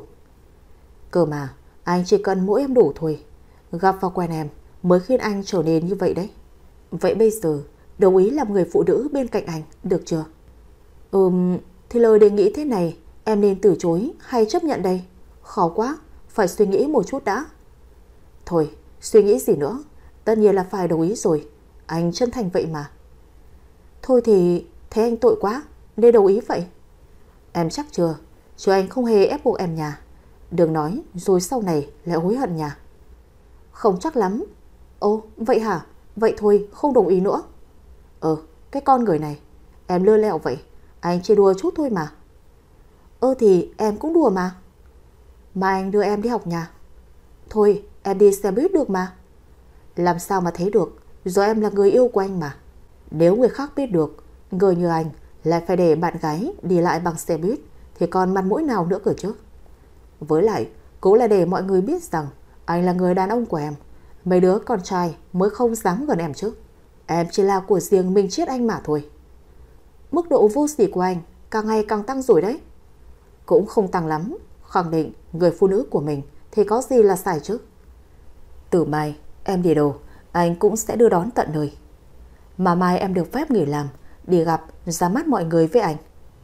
Thôi, có gì đâu mà phải ra mắt chứ. Sao lại không có gì? Chưa kể, em còn phải về giả mát bố mẹ anh nữa. Gì chứ? Về nhà anh nữa cơ à? Trời ơi, em còn chưa chuẩn bị tinh thần gì cả.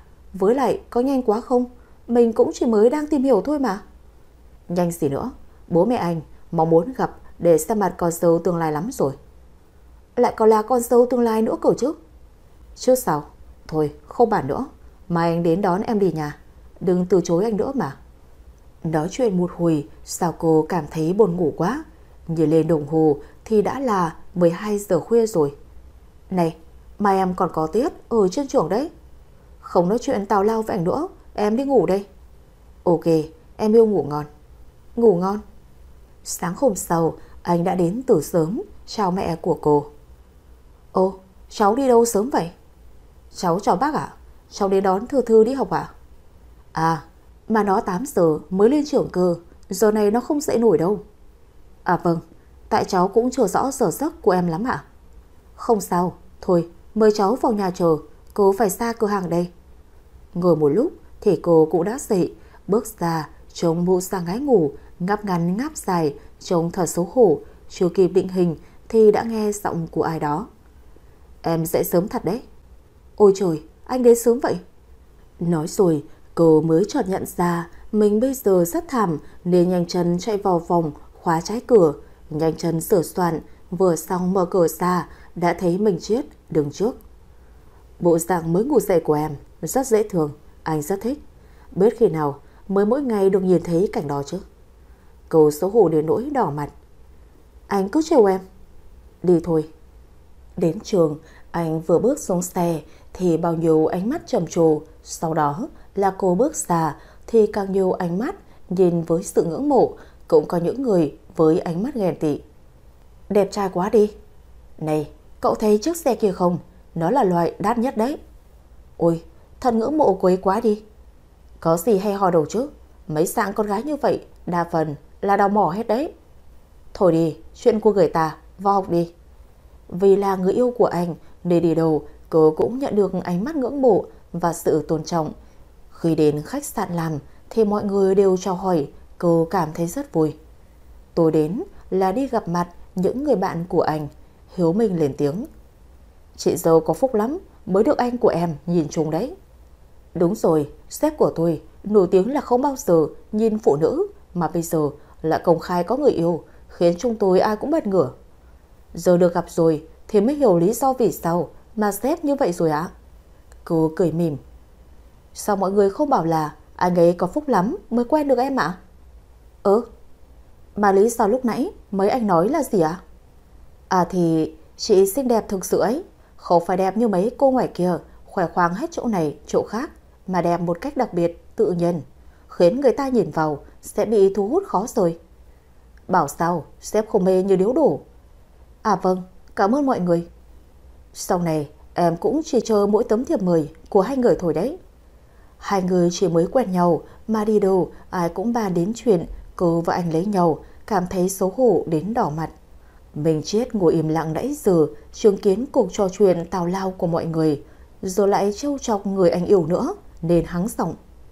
Nãy giờ, mọi người nói xấu tôi hơi nhiều rồi đấy. Lại còn dám chiều quầy nữa. Ờ, tụi em không dám đâu ạ. Với lại, em và mọi người chỉ nói sự thật thôi mà. Ở đây, ai cũng mong hai người đến với nhau. Chú chị mà không chịu lấy anh em á, chắc là tụi em đợi dài cổ, cũng chưa thấy anh lấy vợ đâu. Nghe vậy thì mọi người trong nhóm đều bật cười. Hà hà, chỉ có Hiếu Minh hiểu xếp nhất. Đùa chứ, chị dâu, sau này anh mà bắt nạt chị thì chị cứ bảo em nhé. Em sẵn sàng đứng ra bảo vệ chị bất cứ lúc nào.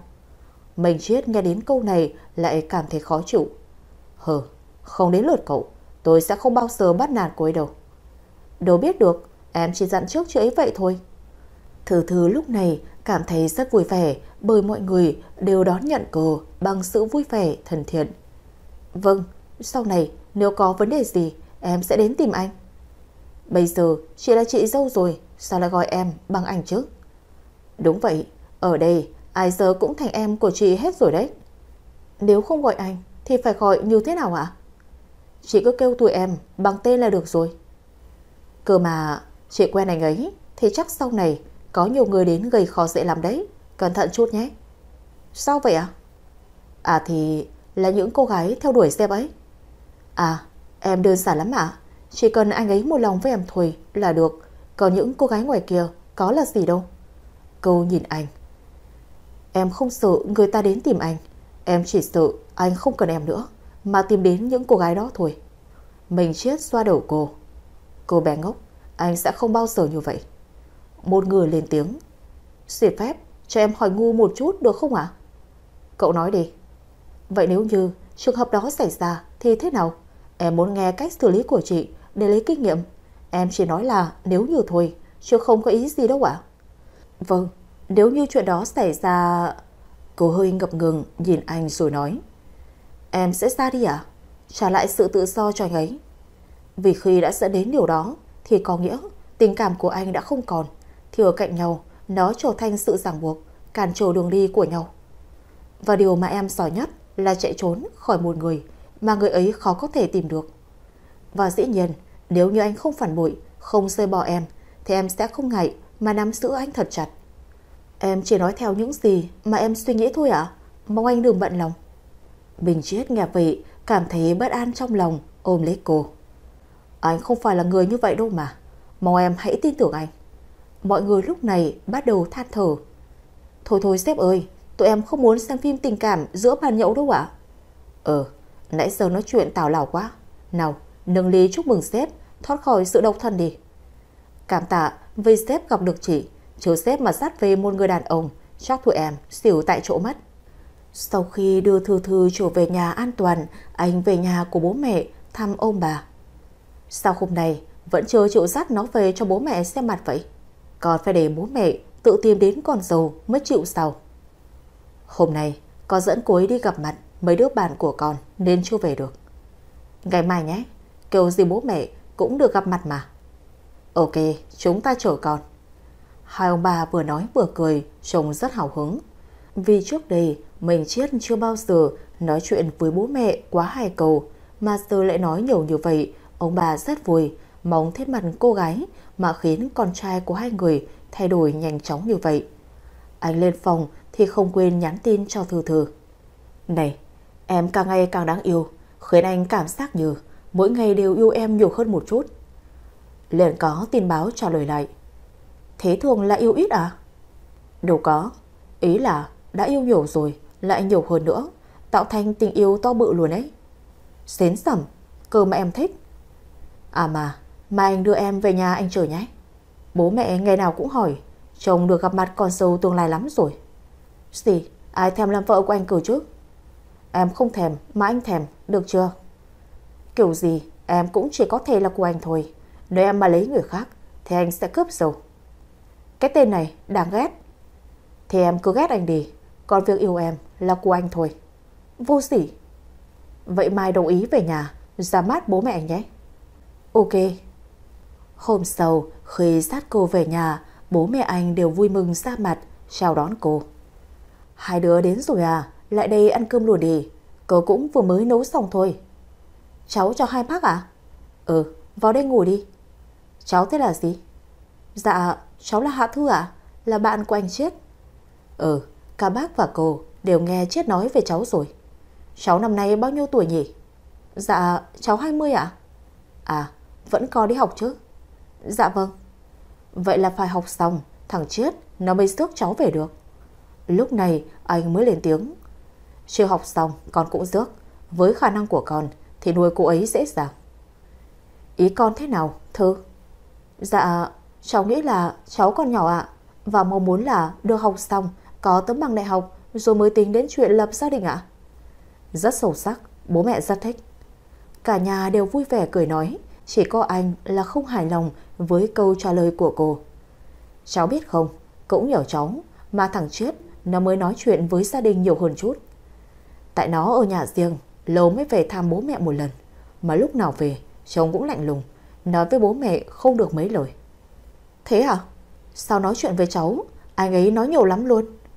Ừ ta thấy chỉ có cháu Mới khơi nó như vậy thôi. Thế bố mẹ cháu thế nào? Chiết đã gặp chưa? Bố cháu mất sớm rồi ạ. Giờ cháu ở với mẹ. Anh chết cũng đã đến và gặp qua rồi ạ. Mình chết hỏi. Đó là lý do chính em không chịu gà cho anh sớm đúng không? Cử hơi ngại ngùng gật đầu. Em yên tâm, sau này mà lấy anh rồi thì chúng ta đều sẽ về thăm mẹ mà. Cũng sẽ thuê một người giúp việc để phụ mẹ em. Sau khi ăn uống trò chuyện xong, Cử tạm biệt mọi người rồi ra về. Cháu xin phép hai bác, cháu về ạ? À? Ừ, con đưa con bé về cẩn thận nhé. Vâng ạ. Con bé dễ thương quá không ạ? Bởi vậy, thằng con bà mới nhìn chúng đấy. Không biết sau này sao, nhưng con bé ấy trông rất thật thà, lệ phép, rất hợp làm con dâu của tôi. Ừ, tôi cũng rất mê nó, hy vọng là sau này chúng nó có thể đến được với nhau. Hai ông bà lại nhìn nhau rồi mỉm cười.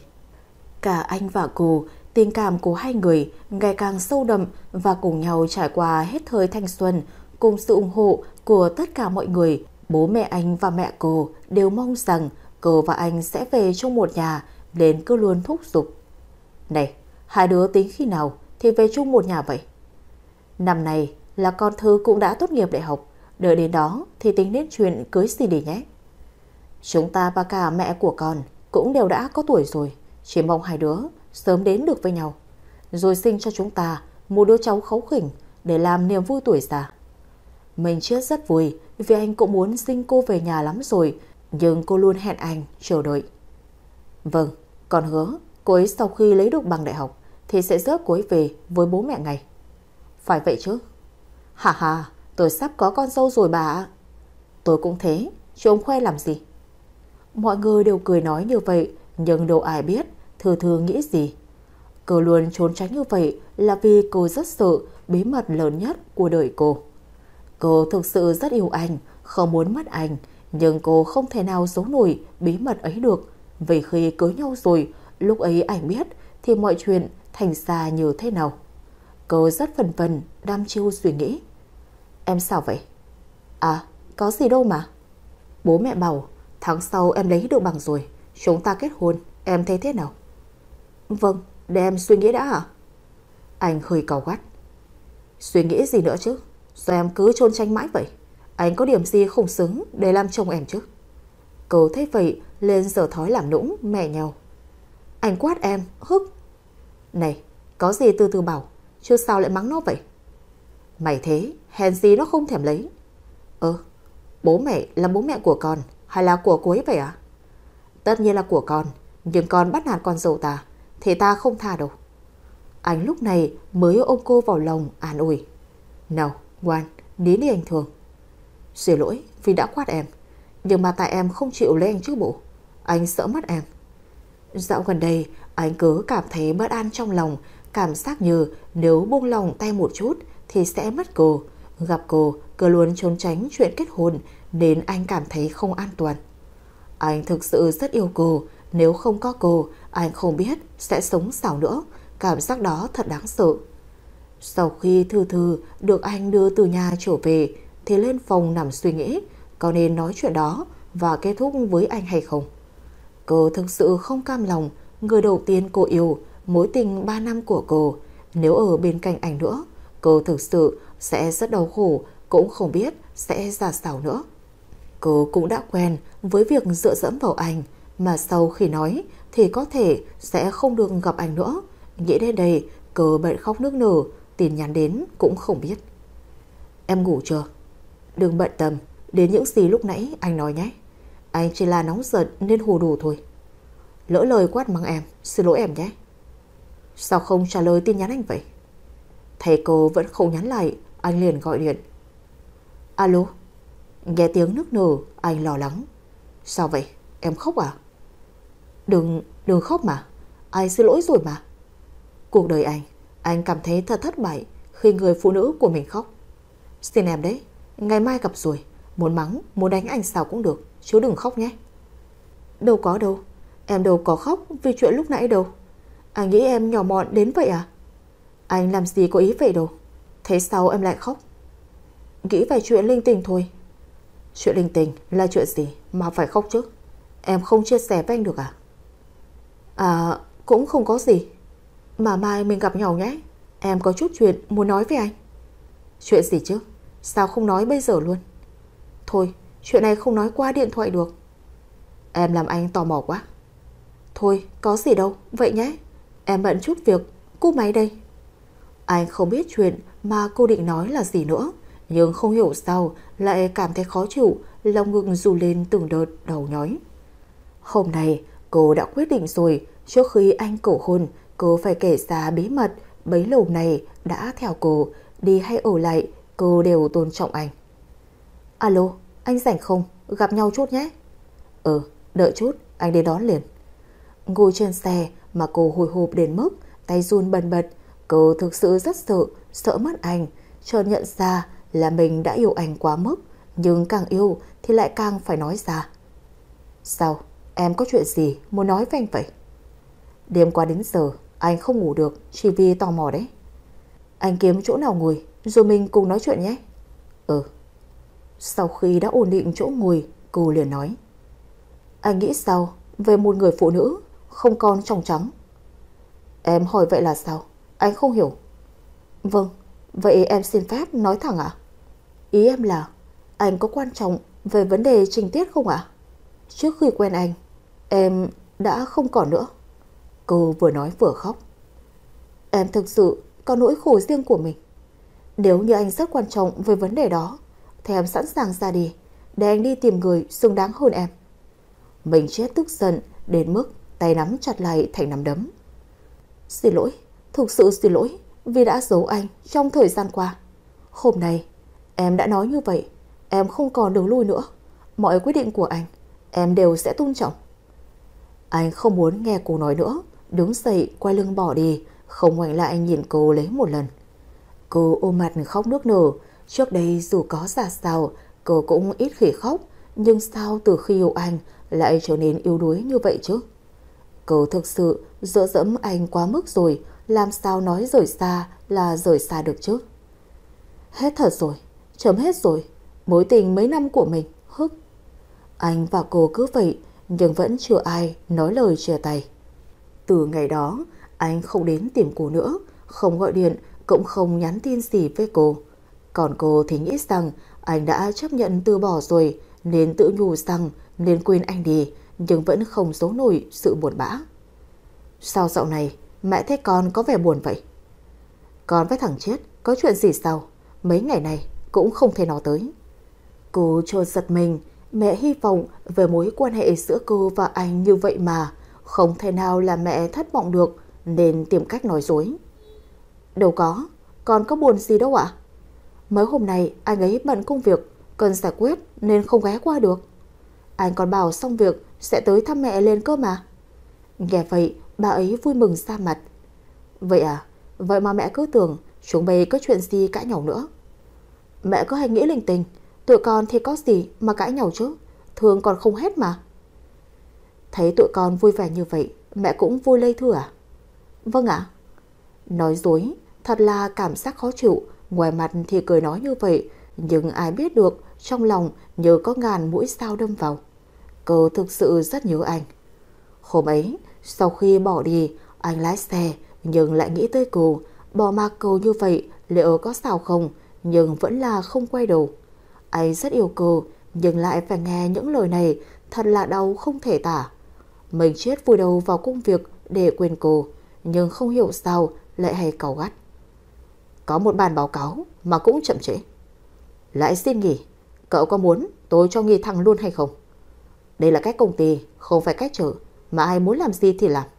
Không ra thể thống gì hết. Mọi người thấy sếp như vậy thì rất hoảng loạn. Trước đây khi quen thư thư, hầu như là không có ai bị anh la mắng. Lúc nào sếp đến công ty, chồng cũng rất vui vẻ. Sếp giọng này sao thế nhỉ? Hay là sếp với chị Thư có chuyện gì rồi? Làm sao mà tôi biết được, mà chắc là vậy rồi. Lúc này, Hiếu Minh đang đi công tác nước ngoài nên không hay biết gì cả. Quản lý thấy vậy liền mắng. Các cô không lo làm việc đi, mà có đứng đó bà Tám. Không thấy sếp dạo này thế nào sao? Vâng vâng. Hôm nay mình chết về nhà, hình bóng thử thử lại hiện lên trong tâm trí anh. Chết tiệt, lại nhớ cô ấy rồi. Chiều chồng mà đã thất thân với người khác thì có gì để mà nhớ chứ? Tỉnh lại đi chết à?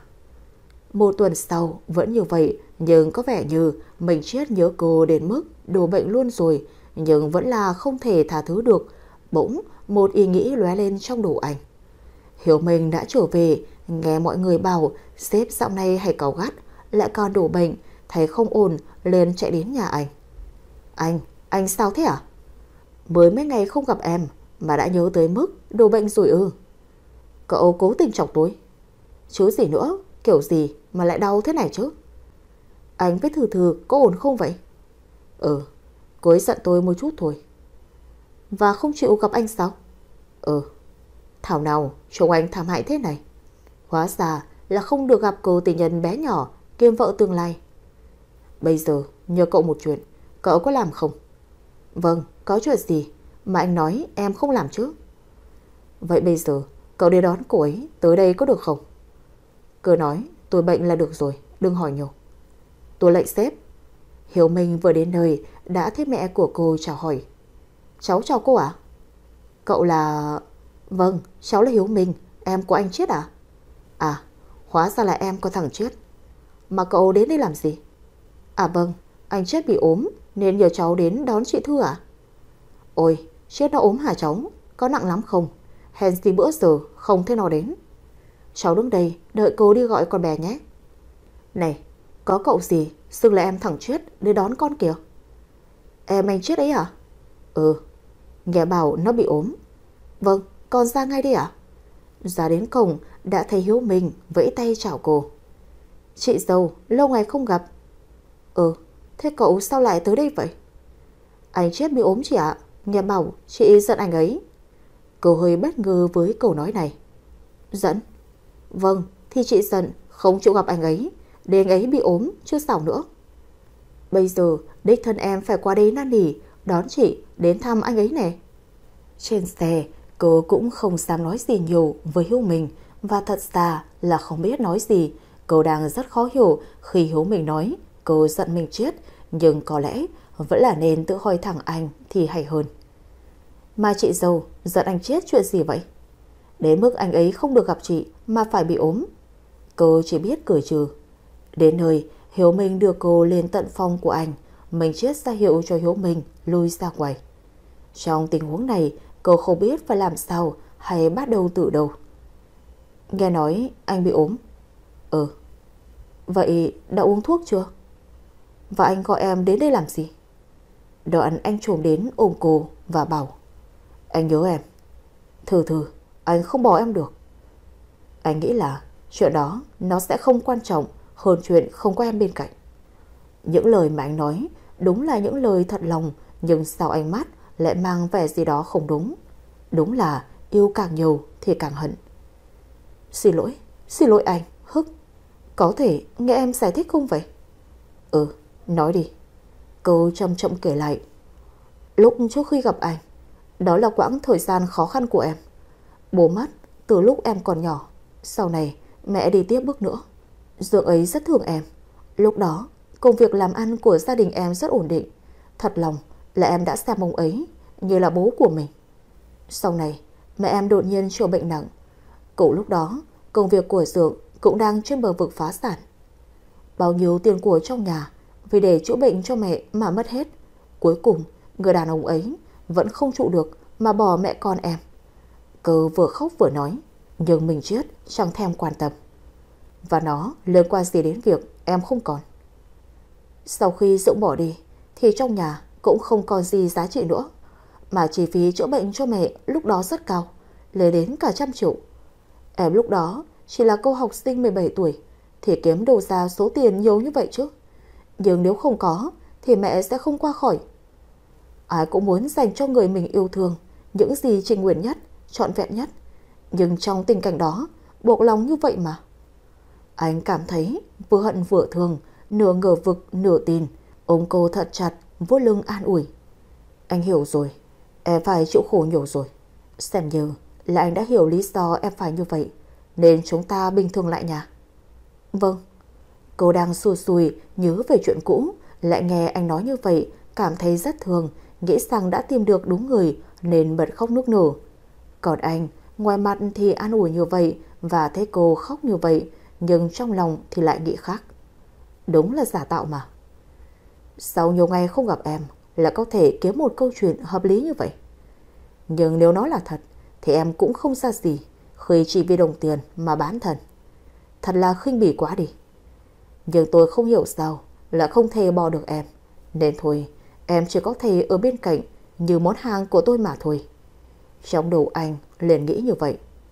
Không hiểu sao gặp Thư Thư như truyền năng lượng đến cho anh, làm cho anh nhanh chóng khỏi bệnh một cách bất ngờ, mai lại đến công ty, tâm trạng tốt hơn hẳn. Mọi người thấy sếp đều sợ, cấp bách làm việc. Sao mọi người thấy tôi lại căng thẳng như vậy? Tôi có ăn thịt mọi người đâu chứ? Dạ, tụi em không dám, thửa sếp. Ừ, thoải mái đi mà làm việc, thì năng suất mới cao được chứ. Lúc mình chết rời đi, mọi người bắt đầu bàn tán. Sếp hôm nay lại sao vậy nhỉ? Cứ lúc nắng lúc mưa thế này, dọa chết tôi rồi. Ừ, nghe bảo hôm qua còn ốm, hôm nay lại như vậy, kỳ lạ thật. Hay là do chưa hạ thư nhỉ? Đúng rồi, mới nghe anh Hiếu Minh bảo hai người giận nhau nên sếp mới ốm. Xem ra là chị ấy chữa cho sếp nếu mới nhanh khỏi như vậy. Các cô nói chuyện thì có tiếng mắng. Không lo làm việc đi, suốt ngày tụ tập tám chuyện. Mới thấy sếp hiền một chút là đã như vậy rồi à? Vâng, tụi em xin lỗi, đi làm ngay đây ạ. Tối đến, mình chết đưa cô đến nhà bố mẹ anh. Ủa, hai đứa à? Sao lâu ngày không thấy bóng sáng đâu vậy?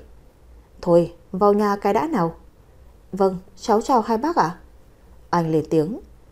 Mấy bữa này, cô ấy bận việc trên trường để chuẩn bị cho lễ ra trường sắp tới nên không đến được. Phải vậy không, thưa thư? Vâng, cháu xin lỗi vì thời gian qua bận quá, không đến thăm hai bác được ạ. À? Bà ấy liếc xéo con trai. Thế còn anh, có dâu bận học quá, không đến được đã đành. Anh có mắt tích luôn, bỏ bê hai thân giả này. Anh vội phản biện. Đâu có. Mà thôi, con có lỗi, xin lỗi bố mẹ nhé. Hôm nay con đến là mang một tin vui, xem như là xin lỗi mấy ngày qua không đến thăm. Ông bà hào hức. Tin vui gì vậy? Vâng, con và Thư quyết định sẽ kết hôn. Ồ, thế thì hay quá. Bố mẹ vui lắm con ạ. À. Muốn rước con bé về làm con dâu lắm rồi. Và sau khi cô ấy làm lễ ra trường thì một tuần sau sẽ làm hôn lễ. Bố mẹ chuẩn bị nhé. Ừ, tất nhiên rồi. Thư Thư bất ngờ vì điều này anh còn chưa hỏi cô cơ mà. Thư Thư à, chúc mừng con trở thành con dâu của ta. Cô không biết phải nói gì, chỉ cười gượng. Dạ. À mà, sau này cưới rồi thì về đây mà ở với bố mẹ cho vui cũng được. Mình Chiết đáp lạnh lùng. Không ạ, tụi con cũng có nhà mà bố mẹ. Với lại, nó cũng mang tính chất công việc, nên ở đây sẽ phiền bố mẹ đi ạ. Phiền phức gì chứ, mà thôi, con không muốn cũng không sao. Cô liền an ủi ông bà. Dạ không sao đâu ạ, nếu bố mẹ muốn, con sẽ nói với anh ấy về đây ở ạ. Còn không thì hàng tuần con sẽ về thăm mà. Đúng là con sâu ngoan của ta. Tất nhiên là sẽ không như vậy. Hàng tuần về thăm thì được, chứ qua đây thì con không đồng ý. Cái thằng nhóc này có sao đâu chứ. Chỉ là con không thích mà thôi. Với lại tụi con cũng mới cưới. Bố mẹ cũng phải để con có không gian riêng từ chứ. Ừ, vậy nghe theo con vậy. Vâng, cảm ơn bố mẹ đã hiểu. Trên đường đưa cô trở về nhà, cô thực sự rất khó hiểu về vấn đề đó, nhưng cũng không dám hỏi thì anh đã lên tiếng trước. Em không có gì muốn hỏi anh à? Vâng, sao lúc nãy... Ý em là gì? Chuyện kết hôn? Em không đồng ý. Cô liền quờ tay. Đâu có, chỉ là anh chưa nói với em nên có hơi bất ngờ thôi. Ừ, chưa nói, thì giờ em cũng biết rồi đấy. Chúng ta quen nhau đã lâu như vậy và cũng không còn nhỏ nữa, thế nên tính chuyện về chung một nhà chứ. Vâng. Cô nghe như vậy thì rất vui vì anh đã bỏ qua vấn đề đó và chấp nhận lấy cô nhưng không hiểu trong lòng lại thoáng buồn vì nó diễn ra quá nhanh cũng không có sự cầu hôn gì hết. Nhưng ai bảo cô yêu anh cứ trước, đến chấp nhận hết, chấp nhận bên cạnh anh mà không cần gì hết. Nghĩ đến đây, cô chợt mỉm cười. Hai người chạy thẳng đến nhà của Thư Thư để thông báo với mẹ của cô. Cháu chào cô à? À, con dề đến thăm đấy à? Sao bữa giờ không thấy ghé thăm gì hết vậy? Vâng ạ, tại dạo này Công ty nhiều việc quá à? Với lại cháu cũng đang sắp xếp công việc để chuẩn bị cho việc kết hôn với Thư Thư à? Ủa, sao cô không nghe nó nói gì hết vậy? Cái con bé này lúc nào cũng giống là mẹ bất ngờ quá. Thế tử này phải đổi qua gọi là con rể chứ nhỉ? À, vâng ạ. Con cũng sẽ tập dần cho quen ạ. Mặc dù rất hận Thư Thư về việc đó, nhưng suy cho cùng, nếu nó là sự thật, bà ấy cũng không có lỗi. Hơn nữa bà ấy còn không biết, cô ấy như vậy nên anh vẫn rất tôn trọng và yêu mến bà. Thế có định khi nào thì tổ chức hôn lễ vậy? Vâng, tụi con định khi Thư Thư lấy bằng tốt nghiệp đại học thì một tuần sau là tổ chức ạ. Cũng nhanh đấy. Vậy bố mẹ con đã biết chưa vậy? Vâng, tụi con mới từ bên đó thư chuyện về đây à? Ừ, thế thì tốt quá. Mà cưới xong thì hai đứa có ở bên đó không? Không ạ, tụi con có nhà riêng mà.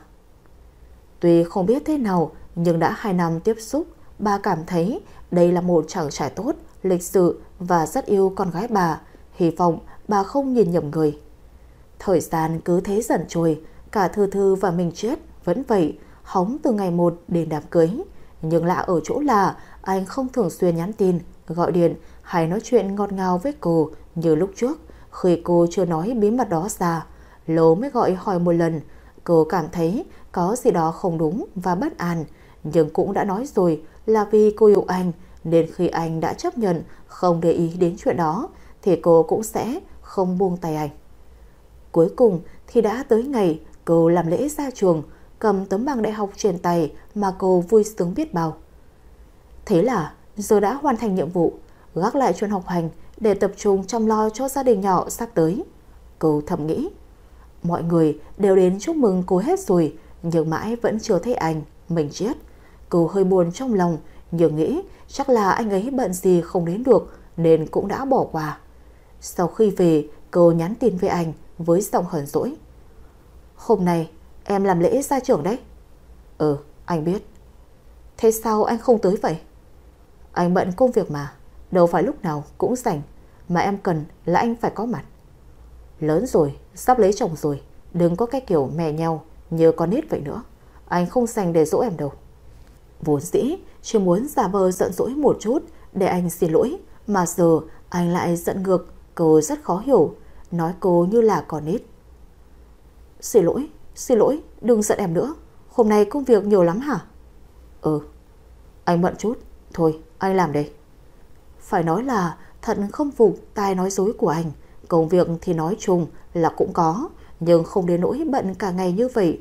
Anh thật ra nhớ hôm nay là lễ ra trường của cô, nửa muốn đi, nửa lại không muốn. Cuối cùng anh lại quyết định không đi, nhưng lúc nào cũng nghĩ đến cô và quyết định đi đến nơi khác để trốn tránh. Anh chính là bị điều đó, che mắt mất rồi.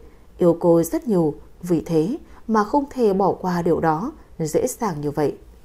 Những ngày sau đó, hai bên gia đình đều tất bật chuẩn bị hổ lễ, nên cô cũng dần quên những chuyện ngày qua. Trước hôm tổ chức, chúng ta đi đăng ký kết hôn trước đi. Sao vậy ạ? À? Sao không đợi kết hôn xong rồi đi luôn? Không thích, hôm nay đăng ký, mai cưới. Quyết định vậy đi, em đừng ba lùi nữa. Anh nói một cách lạnh lùng. Cho dù hận, nhưng anh vẫn không thể khiến trái tim ngừng yêu cô, nên dù thế nào thì cô cũng chỉ có thể là của anh mà thôi. Mỗi ngày không được nhìn thấy cô, anh sẽ điền mắt. Đến nơi, lúc ngồi ký tên vào tờ giấy đăng ký kết hôn, cô hơi do dự, không hiểu sao, nhưng cảm giác này rất khó chịu. Cơ như khi ký vào thì cuộc đời sẽ bước sang một ngã rẽ mới. Em sao vậy? Không sao ạ? Vậy ký đi, rồi anh đưa em đi ăn, xong về nghỉ ngơi, chờ hôn lễ ngày mai. Những lời này cô nghe vào thì cảm thấy rất vui, vì lâu lắm rồi anh mới nói lại giọng điệu ngọt ngào với cô như vậy, nên không suy nghĩ nữa mà ký vào tờ giấy. Cuối cùng, hôn lễ cũng diễn ra với sự chúc phúc của mọi người. Cô nở nụ cười rạng rỡ trên môi, thể hiện sự tràn ngập hạnh phúc. Còn anh thì khuôn mặt lạnh bằng, không cảm xúc gì, chỉ là yên vị làm theo lời hướng dẫn của MC. Vốn dĩ, anh định mượn hôn lễ này làm mất mặt cô và dù thế nào thì cả hai cũng đã đăng ký kết hôn. Cô không thể rời khỏi anh được, nhưng cuối cùng là không nỡ chỉ có thể để cho hôn lễ diễn ra một cách tự nhiên. Sau khi hôn lễ kết thúc, hai người trở về nhà riêng của anh. Ở đây có người quản xa và một vài người giúp việc nữa. Tất cả đều vui vẻ chào đón bà chủ. Chúc mừng ông bà chủ. Anh không nói gì, bỏ mặc đi lên phòng. Cô thì đứng chào mọi người theo phép lịch sự dù cũng đi lên theo. Những tưởng đêm này sẽ là đêm tân hôn ngọt ngào của cô và anh, nhưng không. Lúc cô tắm xong thì anh vẫn còn ngồi trên giường, cô đến ân cần hỏi anh. Anh sao vậy? Em chuẩn bị nước rồi, anh vào tắm đi nhé. Thấy mình chết không có động tĩnh gì. Em giúp anh cởi áo nhé. Liền nhận lại lời quát. Tránh xa, đừng đụng vào tôi. Anh nương cầm cô lên. Em không xứng đụng vào người tôi. Người phụ nữ của tôi chỉ có thể là một người con trong sạch và không bị ai vấy bẩn. Cô lúc này mới vội lẽ, hót tay anh ra, ngước đôi mắt lòng lành ngấn nước nhìn anh. Sao là em bẩn như vậy ừ Em không xứng đụng vào người anh ừ Vậy tại sao anh còn cưới tôi? Không yêu, cớ sao phải làm như vậy với tôi chứ? Anh nhìn như vậy không hiểu sao lại cảm thấy đau lòng, định nói rằng rất yêu cô, nhưng cuối cùng vẫn là không thể nói ra. Tôi không cưới em, thì em nghĩ có người khác chịu cưới em sao? Thà là em làm bình phong, che đậy để tôi vui chơi bên ngoài với người khác. Còn có ích hơn đấy. Anh không những vô sỉ mà còn bị bệnh thần kinh nữa. Cô nghĩ sao cũng được. Hôm nay tôi ngủ phòng khác. Anh lấy ra tờ giấy kết hôn do cô ký vào. Tờ giấy này là do cô tự nguyện ký. Đừng mong có thể thoát khỏi anh. Anh... Hãy chấp nhận và tập làm quen dần đi. Xung quanh đây lúc nào cũng có người của tôi đấy. Và đừng quên là còn có mẹ nữa.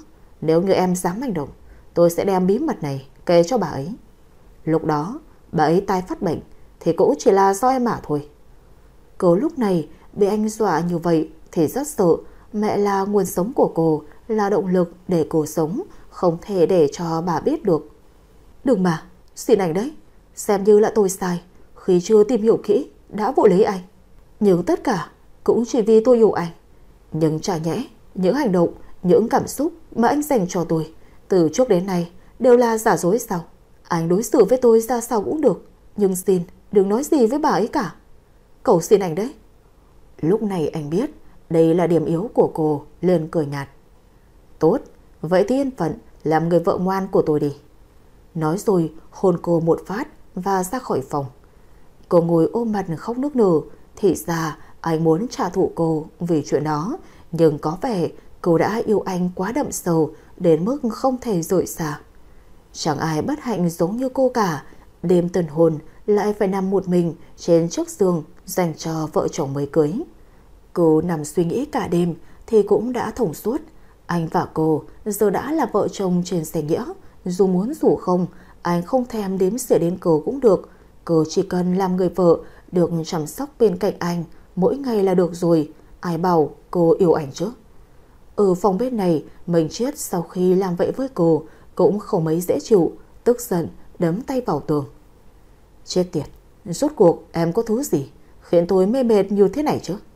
Hôm sau, cô thức dậy sớm, đòi nấu bữa sáng cho anh. Chào chị, hôm nay mọi người nghỉ ngơi đi, tôi muốn tự mình nấu ăn cho anh chết. Mọi người thấy vậy liền sủa tay. Không được đâu ạ. Đây là công việc của người làm, chị làm như vậy tụi em sẽ bị đuổi việc mất. Không sao đâu, có gì mọi người cứ bảo do tôi là được.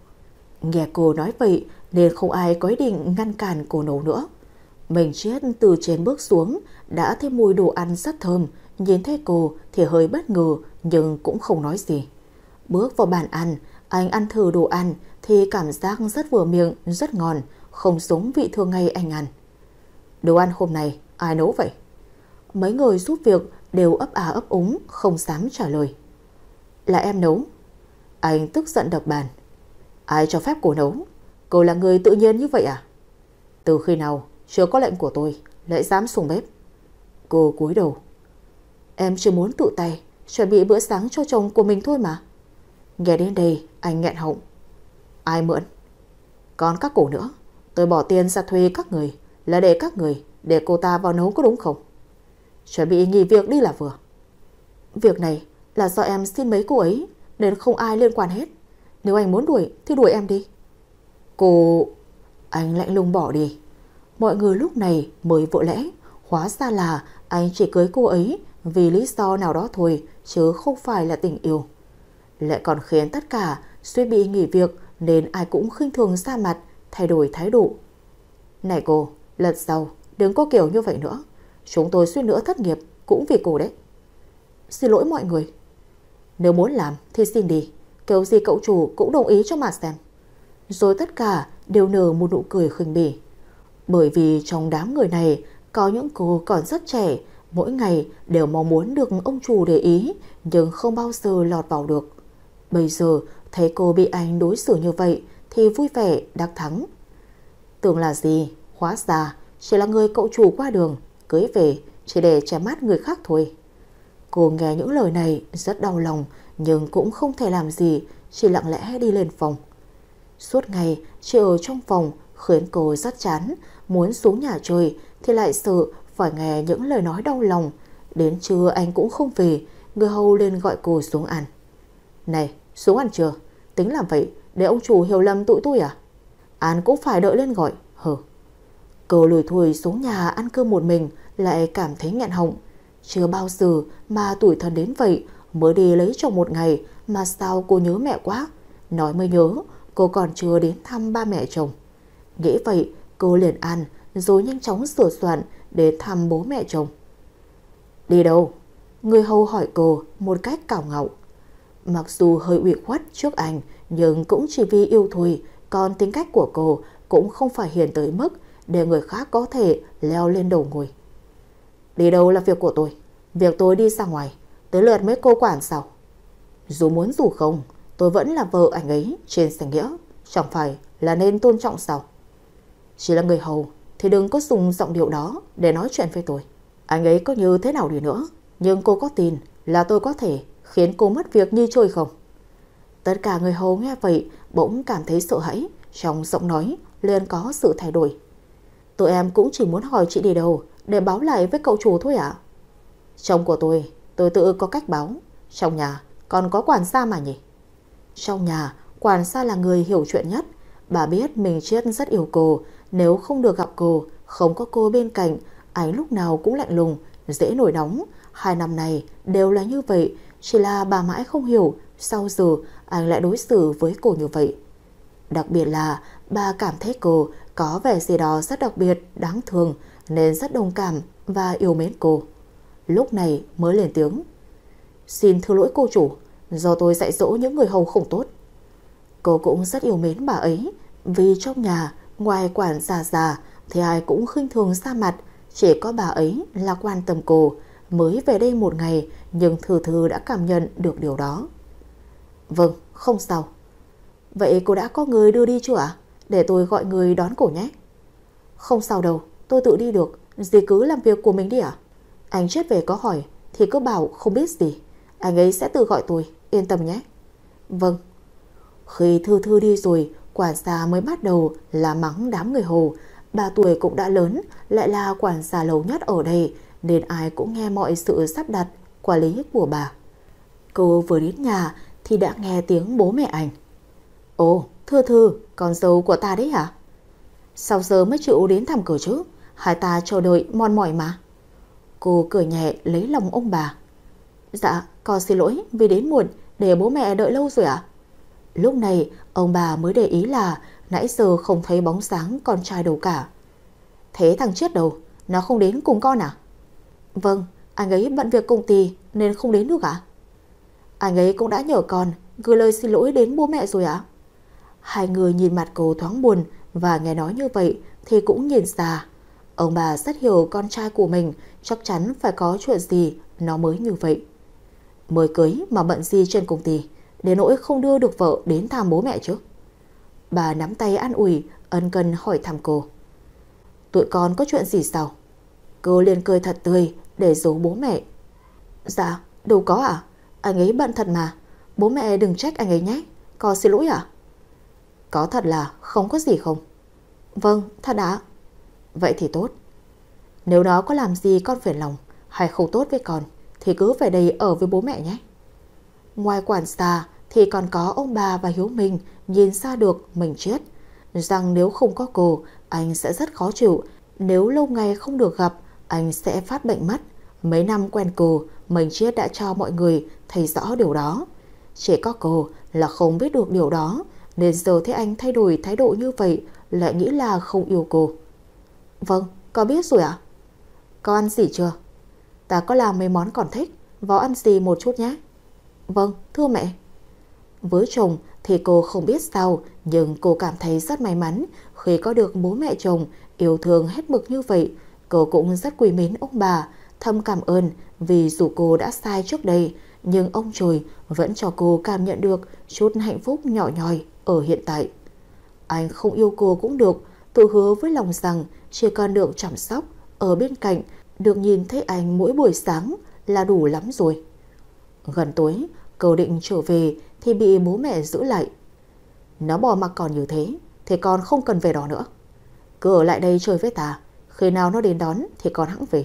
Đây cũng là nhà của con mà. Nhưng... Không nhưng nhị gì hết.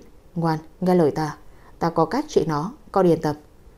Cờ cũng bất lực, không thể không nghe theo lời bố mẹ nên chấp nhận ở lại. Vâng ạ. Ừ, vậy tối nay ta ngủ cùng con nhé. Mẹ con ta cùng trò chuyện để hiểu rõ nhau hơn nè. Cái bà này, ra đầu rồi, có nói những câu như con nít ấy. Kệ tôi, tôi muốn ngủ cùng con dâu, ông cả được sao? Thôi, thôi được rồi, thì tôi có dám nói gì đâu. Ba người cứ thế cùng trò chuyện, trông rất vui vẻ. Bình Chiết xa vờ đi làm chỉ để tránh mặt cô mà thôi. Nhưng khi ngồi vào bàn làm việc, hình ảnh của cô trong đêm tân hôn nằm một mình và cảnh lúc sáng anh mắng cô. Trong khi đồ ăn mà cô nấu, anh ăn rất vừa miệng, ngon hơn mọi thứ sơn hào hải vị ở nhà hàng. Mấy hình ảnh ấy cứ hiện lên trong đầu anh. Đến trưa là đã nhớ cô lắm rồi nhưng lại quyết định không về.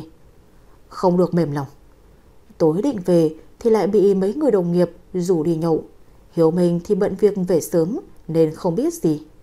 Này, sếp, sao mới cưới mà đã đi làm thế? Sếp thăm công tiếp việc để nỗi bỏ vợ ở nhà chờ đợi cả ngày ư? Việc của tôi, mấy người thì biết cái gì? Ồ, tụi em không biết gì. Vậy hôm nay xem như không say, không về nhé. Ừ, theo ý mọi người. Mọi người bắt đầu chuốc say hành. Chúc mừng sếp nhé. Vì đồ gì? Lấy vợ như không lấy, không bị vợ quản, không bị nói gì cả. Muốn đi đâu về giờ nào đều được. Tụi em muốn nhiều sếp mà không được đấy. Anh hừ lạnh. Cô ấy quản tôi mà được sao? Đúng, không ai qua được sếp hết. Thôi, đừng lý chúc mừng sếp nào. Nói rồi, gọi thêm mấy cô chân dài ra phục vụ. Mấy cô thấy mình chết, nhìn rất đẹp trai và có vẻ như là sếp của mấy người ở đây thì tranh nhau sán lại gần. Đem rót rượu mời anh nhé. Rồi bắt đầu ngồi cạnh, vuốt ve ngực anh. Lúc này, mình chết mới bừng tỉnh quay qua nhìn, là hình ảnh mấy cô gái mang đồ như khổng màng, ngực sắp rơi ra ngoài. Anh nhìn thấy cảnh này, thật khinh bỉ. Tránh xa, đi qua chỗ mấy người kia đi. Anh này, người ta chỉ muốn phục vụ mỗi anh thôi mà. Một cô óng nghẹo nói. Dơ bẩn, cốt ngay trước khi tôi nổi điện. Cô ta cảm thấy sợ nên không dám ngồi lại. Lúc này anh rất nhớ cô, nghĩ rằng cô kiểu gì cũng đợi anh ở nhà cả ngày nên vội vã chào ra về. Đến lúc anh về đến nơi thì cũng đã là 12 giờ đêm. Cả ngày hôm nay không được gặp, thực sự là nhớ cô lắm rồi. Lập tức chạy lên phòng tìm, nhưng lại khiến anh bất ngờ là căn phòng trống không, không có thư thư. Lúc này khuôn mặt anh mới lộ rõ vẻ tức giận. Chết tiệt, em trốn đi đâu rồi? Cả ngày không được nhìn thấy, bây giờ cô cũng không ở trong tầm mắt anh bà đầu thấy lo lắng và cũng đã khuya như thế này. Tưởng rằng cô đợi anh cả ngày, nào ngờ về lại không thấy bóng sáng, đúng là chọc tức chết anh rồi. Lập tức xuống nhà là hết. Tất cả ra đây mau cho tôi. Mọi người nghe như vậy, đang ngủ đều bừng tỉnh từ người hầu đến quản gia. Quản gia lên tiếng. Có chuyện gì vậy, cậu chủ? Cô ấy đâu rồi? Ý cậu là... Ấy lúc này đã gấp đến độ sắp không thở nổi. Lúc trước khi cô khai thật mình không còn trống trắng thì cũng mấy tuần anh không tìm đến cô nhưng lại không sao. Giờ cưới rồi lại rất sợ mắt cô mỗi ngày không được nhìn thấy thì chắc sẽ phát điên mất. Cô chỉ có thể là của mỗi mình mình chết anh mà thôi. Ý tôi là cô ấy, vợ của tôi đi đâu? Tất cả mọi người đều bất ngờ vì anh đã thừa nhận Thư Thư là vợ mình nhưng cũng nhìn nhau lắc đầu ý không biết. Vâng, có hỏi nhưng cô ấy không bảo là đi đâu à? ạ? Chị nhắn là nếu cậu hỏi thì bảo không biết thôi ạ. Có gì, cậu gọi hỏi thử cô ấy xem ạ. Anh phát điên chạy ra ô tô đi tìm cô. Bà quản gia mới bắt đầu giao huấn người hầu. Đấy, các cô thấy chưa? Cậu ấy cũng đã thừa nhận cô Thư là vợ của mình. Và đã thấy khuôn mặt lo lắng lúc không có cô ấy ở nhà của cậu chủ chưa? Khôn hồn, cư xử tôn trọng cô ấy. Vâng, chúng tôi đã thấy rồi ạ. Xin lỗi quản gia. Giải tán, đi ngủ đi. Anh định lao xe đi tìm cô thì lại không biết cô đang ở đâu mà tìm. Bực tức đấm vào vô lăng. Rốt cuộc em ở đâu cử chứ? Sực nhớ ra là cô có điện thoại liền gọi điện. Nửa đêm, Thư Thư cùng mẹ đang ngủ lại có tiếng chuông điện thoại khiến cả hai tỉnh giấc. Ai gọi vậy con? Là anh Chiết à? Cái thằng nhóc này, giờ này mới biết đường gọi cho vợ. Nghe thử xem nó nói gì. Vâng ạ. Alo? Thử thử vừa bắt máy, đã nghe tiếng hét thất thanh trong điện thoại, mẹ ngồi bên cạnh cũng nghe rõ một một.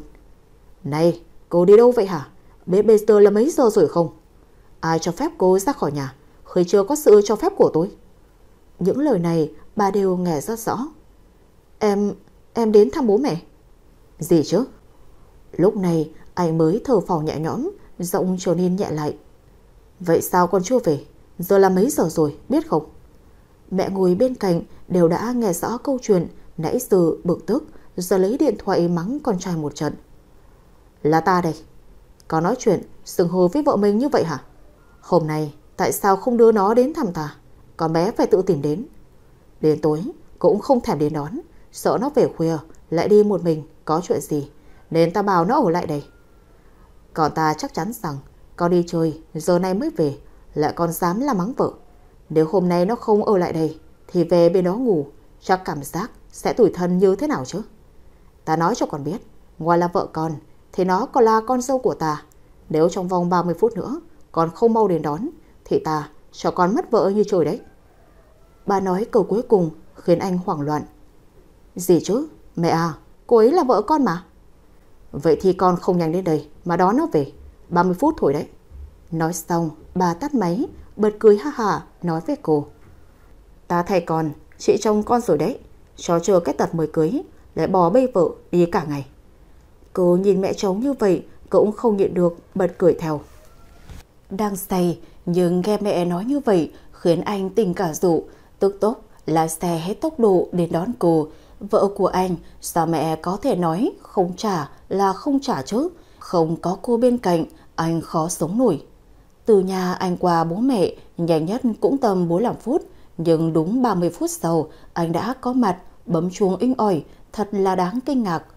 Nghe tiếng, mẹ và cô liền ra mở cửa, ba trêu con trai. Ồ, nhanh hơn ta tưởng đấy, hóa ra cũng sợ mất vợ. Lần sau sang đây mà không lo đưa nó đi thì xác định nghe con.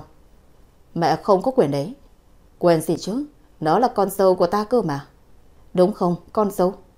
Cô cũng chả biết nói làm sao giữa hai người này. À, vâng. Em còn không chịu theo tôi về nhà. Cô quay qua an ủi mẹ chồng. Cũng khuya rồi, mẹ vào ngủ đi nhé. Có xin phép về nhà với chồng ạ. Lúc nào rảnh, tụi con qua thăm bố mẹ ạ. Ừ, thôi về đi. Về đến nhà, anh liền lôi cô lên phòng. Ai cho phép em qua đó mà không hỏi ý tôi. Em chỉ là qua nhà thăm bố mẹ thôi mà, chưa có đi đâu xa đâu. Với lại ở nhà cả ngày, buồn chán nên mới vậy. Xin lỗi anh nha. Nói rồi, cô chạy đến giang tay ôm anh, nhưng chợt nhớ là anh không cho phép đụng vào người. Xin lỗi, em quên mất. Hôm nay là em sai. Khi đi mà không báo cho anh, làm anh lo lắng, đừng giận nữa mà. Cũng khuya rồi, em đi tắm rồi ngủ đây. Anh về phòng nghỉ ngơi đi. Cái quái gì thế này, đây là nhà anh, đây cũng là phòng anh. Anh thích ngủ ở đây thì ngủ, vậy mà hôm nay cô cả gan đuổi anh. Em dám đuổi tôi? Em không có ý đó. Hôm nay tôi ngủ ở đây. Cô đành tặc lưỡi mà kệ anh đi vào phòng tắm. Sau khi đã tắm xong, thấy anh có vẻ đã ngủ, thì cô leo lên chỗ bên cạnh, nhẹ nhàng để ngủ, bất chợt bị anh kéo vào lòng, nhanh chóng lật cô nằm xuống giường. Em đang khiêu khích tôi sao? Cô hơi khó hiểu. Khiêu khích gì chứ? Bất chợt bị anh hôn, một nụ hôn thật sâu, chiếc lưỡi cản quét cả khuôn miệng cô, ép chặt môi, khiến cô khó thở. Sau đó mới dần tha lòng. Anh thổ lỗ, lô đô trên người, một cảnh xuân đẹp hết sức. Nhất là vòng một căng tròn, khiến anh khó lòng kiềm chế. Hai tay ra sức làm loạn. Vừa dưới thần cũng đã căng trướng. Anh bắt đầu di chuyển vào trong cô. Hai người cứ thế vật lộn cả đêm. Anh thở phao vào tai cô và nói những lời cay đắng. Em thật tuyệt. Nhưng nếu như em không ngu ngốc làm chuyện đó của người khác, thì có lẽ bây giờ tôi sẽ cưng chiều em như thế nào chứ? Chắc có lẽ những lần trước em cũng dùng những chiều này để dụ dỗ những người đàn ông khác làm tình cung có đúng không? Thật là khiến người ta khinh bị quá đi. Em bây giờ chỉ là người để tôi phát tiết mà thôi, không hơn không kém những con đàn bà ti tiện khác. Sau đó nhanh chóng rút ra và rồi đi qua phòng bên cạnh. Cô khi nghe những lời anh nói thật là đau thấu tâm can mà cô tổn thương thật rồi. Mình chết ở bên này cũng khó chịu không kém. Đúng là cảm giác làm chuyện này cùng cối thật tuyệt, cùng với mùi hương trên người, thật là khó rớt. Nhưng khi nghĩ lại, cô cũng đã từng như vậy với người đàn ông khác thì không kiềm chế được cơn tức giận. Em chỉ có thể là của riêng tôi mà thôi. Hôm nay, vì biết anh sẽ không muốn nhìn mặt cô và càng không muốn ăn những món ăn cô nấu nên cô không xuống nhà. Lúc anh xuống thì lại chưa thấy cô. Lên gọi cô ấy xuống đây. Người làm hiểu ý là gọi vợ của ông chủ nên nhanh chân đi liền. Cốc cốc. Hôm nay chính xác là đã thay đổi thái độ. Cô chủ ơi, xuống ăn sáng đi. Anh ấy đi chưa? Vẫn chưa ạ. Là đang đợi cô xuống ăn cùng đấy ạ? Không đâu. Chắc anh ấy không muốn thấy mặt tôi. Để mới hỏi vậy thôi. Cô cứ xuống đi. Lát anh ấy đi làm rồi. Tôi xuống ăn sau cũng được. Vâng. Bỗng nhiên cô chợt nhận ra là ở nhà mãi cũng chán và cũng đã có bằng đại học nên nhanh trần xuống. Các cô lui xuống đi. Tôi muốn nói chuyện với chồng một lát. Sao thế?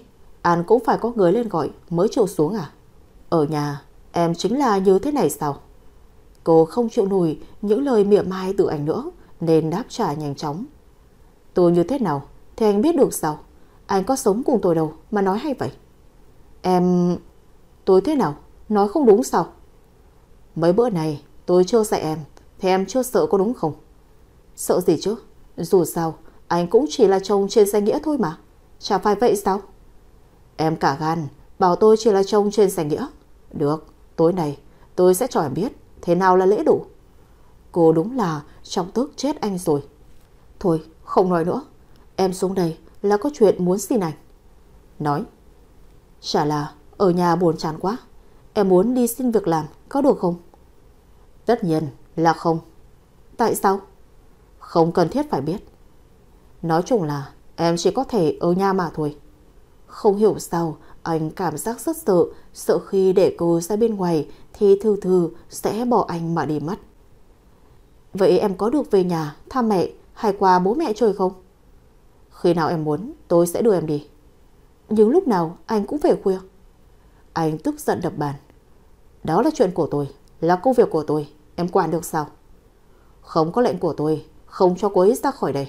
Tất cả nghe rõ chưa? Anh giam lòng tôi sao? Nghĩ gì thì kệ em. Nói rồi, anh lấy áo quay lưng bỏ đi. Cứ thế mỗi ngày, cô cứ quanh quần trong nhà như một chú chim bị nhốt trong lồng. Mỗi tối thì đều phải chịu đựng sự hành hạ từ anh. nhớ những điều này chưa là gì so với cô. Điều mà cô ghét nhất là lừa dối và phản bội mà thôi. Nhưng trách sao được khi cô cũng lừa dối anh suốt những năm tháng quen nhau. Nhưng việc mà cô làm bây giờ xem như là bù đắp cho anh những chuyện xưa cũ. Dù sao bây giờ cô cũng là vợ anh, chỉ mong rằng một ngày anh có thể chấp nhận và yêu cô. Nhưng cuộc đời đâu chỉ đơn giản và bình yên như vậy. Thư ký của mình chết trước đây là nam nhưng vì vài lý do cá nhân nên đã xin nghỉ. Hôm nay có người đến xin ứng tuyển nhưng người đó không ai khác là hứa vì vì. Mình chết nhìn cô gái này trông rất quen mắt, nhưng không nhớ đã từng gặp qua ở đâu rồi. Trong đầu anh lại hiện lên một suy nghĩ mà anh cho là thú vị nên đã nhận Vì Vì vào làm việc. Lúc mà Thư Thư mời đám cưới thì Vì Vì đang ở bên nước ngoài không về dự được. Bây giờ về nước thì loay hoay công việc vẫn chưa có thời gian gặp bạn được.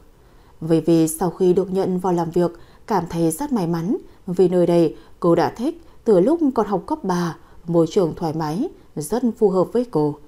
Sau một thời gian làm việc, cô cũng đã thích nghi với công việc, nhưng điều mà không ai ngờ là cô thế mà lại có tình cảm với anh, mình chết. Lại nhận thấy những hành động thân mật của anh nên cảm giác mình chết cũng có tình cảm với mình.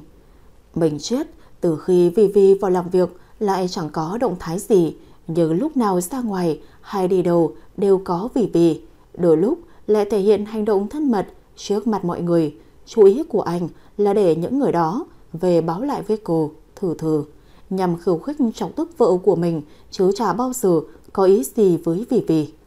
Hiếu Minh lại cảm thấy kiểu này rất trướng mắt bởi anh cảm thấy mến chị sầu hơn, có đối với cô thư ký này lại có cảm giác lạ, trông không đơn giản như vẻ bề ngoài. Này anh, đừng quên là chị giàu vẫn đang ở nhà đợi anh về đấy. Thì sao? Cậu quan tâm chuyện gia đình tôi đến vậy sao? Anh... Anh nói vậy rồi, thì em cũng chẳng còn gì để nói nữa. Chỉ muốn nhắc nhở anh, chị dâu là một người tốt. Nếu như anh không trân trọng, sẽ có một ngày mất đi đấy. Hờ, tôi chả quan tâm. Giờ tôi có Vi Vi rồi. Cô ta trả qua chỉ là bình phòng bấy lâu nay mà thôi. Anh đùa em đấy à? Tôi đâu rảnh mà đùa với cậu. Tin hay không thì tùy. Mình chết tự tin nói như vậy vì biết chắc rằng Hiếu Minh sẽ kể lại với Thư Thư. Còn phần cô, anh nghĩ rằng cô không dám rời bỏ anh nên ra sức hành hạ, giày vò. Không nói chuyện với anh nữa. Biết vậy, lúc kia em bảo chị ấy không cưới anh đâu. Cậu tự tin vào lời nói của mình đến vậy sao? Những lời đối thoại nãy giờ đều được Vì Vì ở bên cạnh nghe hết, giả vờ làm nũng anh. Thì ra, anh đã có vợ rồi à? Ừ, mình chết giả vờ vuốt ve Vì Vì. Nhưng chả có gì bằng em. Ngoài mặt thì nói như vậy, nhưng trong lòng rất khinh bỉ.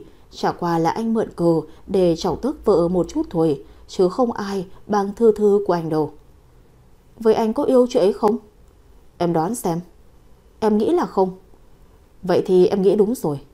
Hiểu mình nghe được những lời này cảm thấy đau lòng thay cho Thư Thư, tức giận bỏ đi.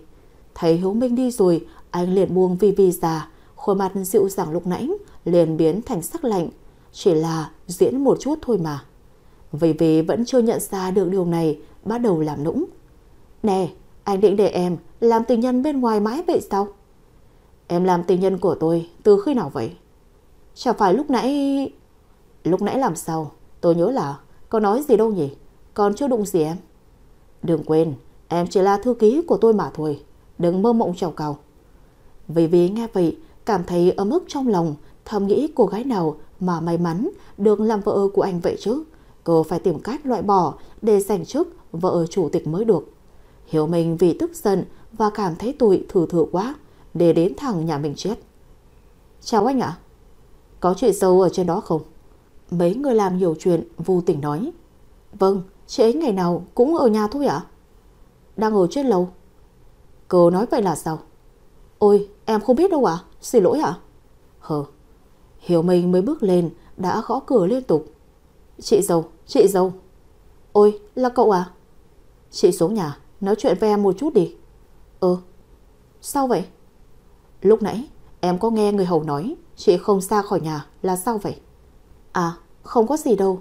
Chỉ là anh ấy không muốn chị ra ngoài thôi. Ý là giam lòng chị. Cũng có thể hiểu là như vậy.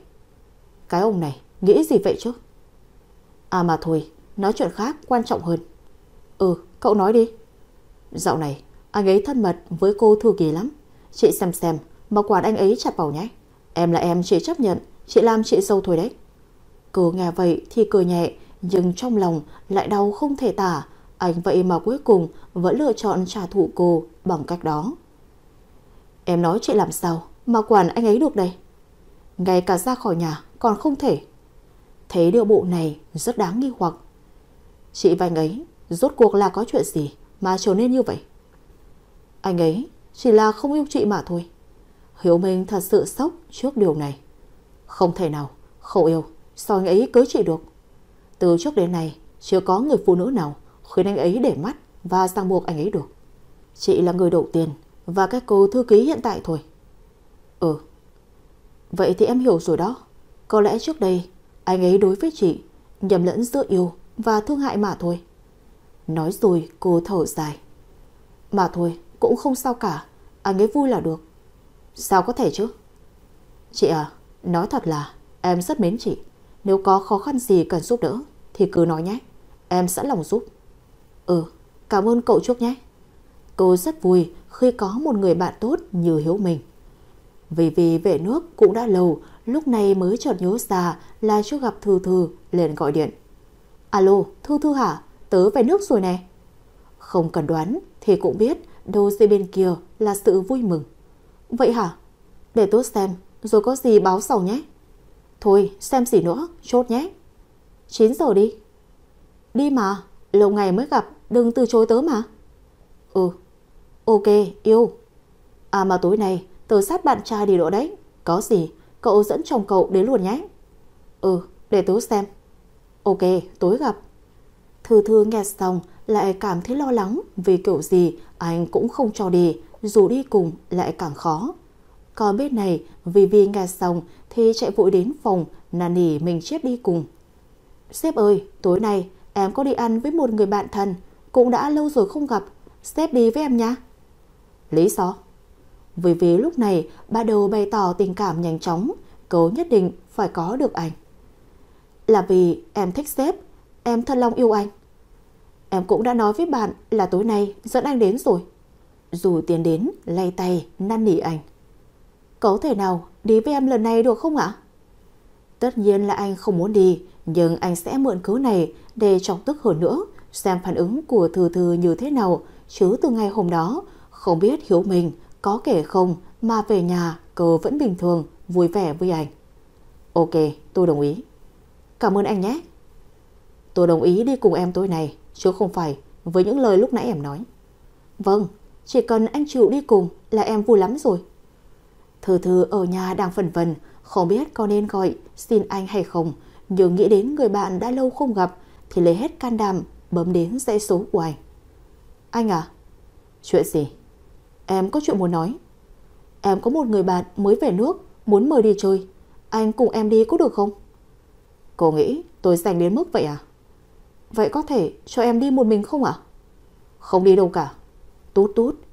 Cô thở dài, dù sao cô cũng là con người, cũng là vợ anh, sao lại giam cầm quá đáng như thế.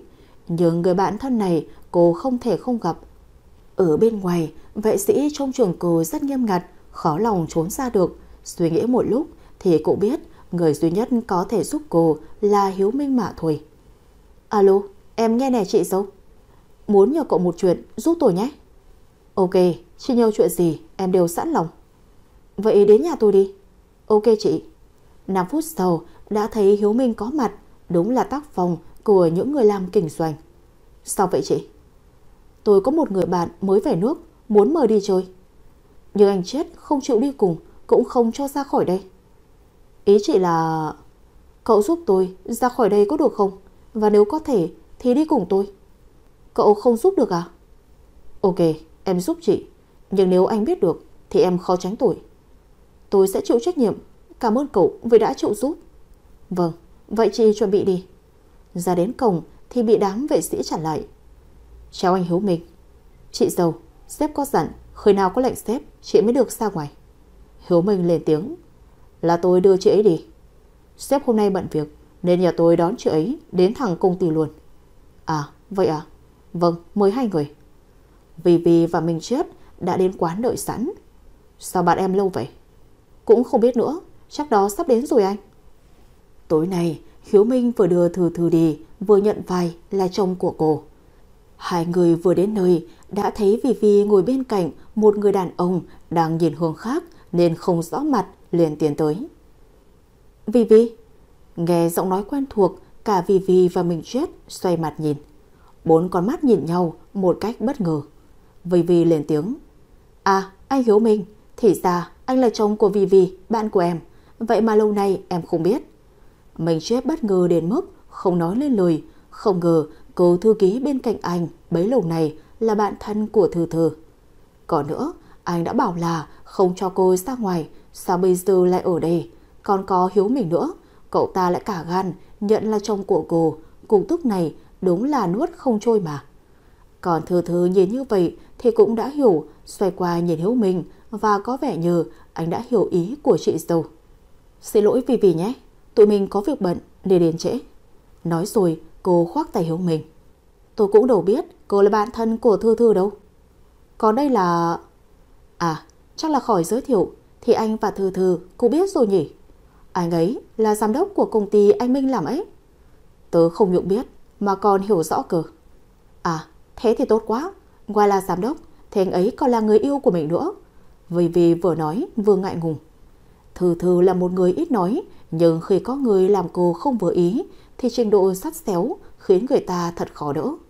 Cô không vội vạch trần để xem thái độ của anh và Vì Vì như thế nào. Một người thì ngoại tình lại gặp ngay là bạn của cô, một người là bạn thân lại đi giặt chồng mình, hai con người này thật là đáng khinh quá đi. Ồ, ra là người yêu của cậu, Hiếu Minh à, chúng ta nên gửi đến một lời chúc mừng chứ nhỉ? Chúc mừng cậu, Vì Vì. Hề hề, không có gì, ngại quá.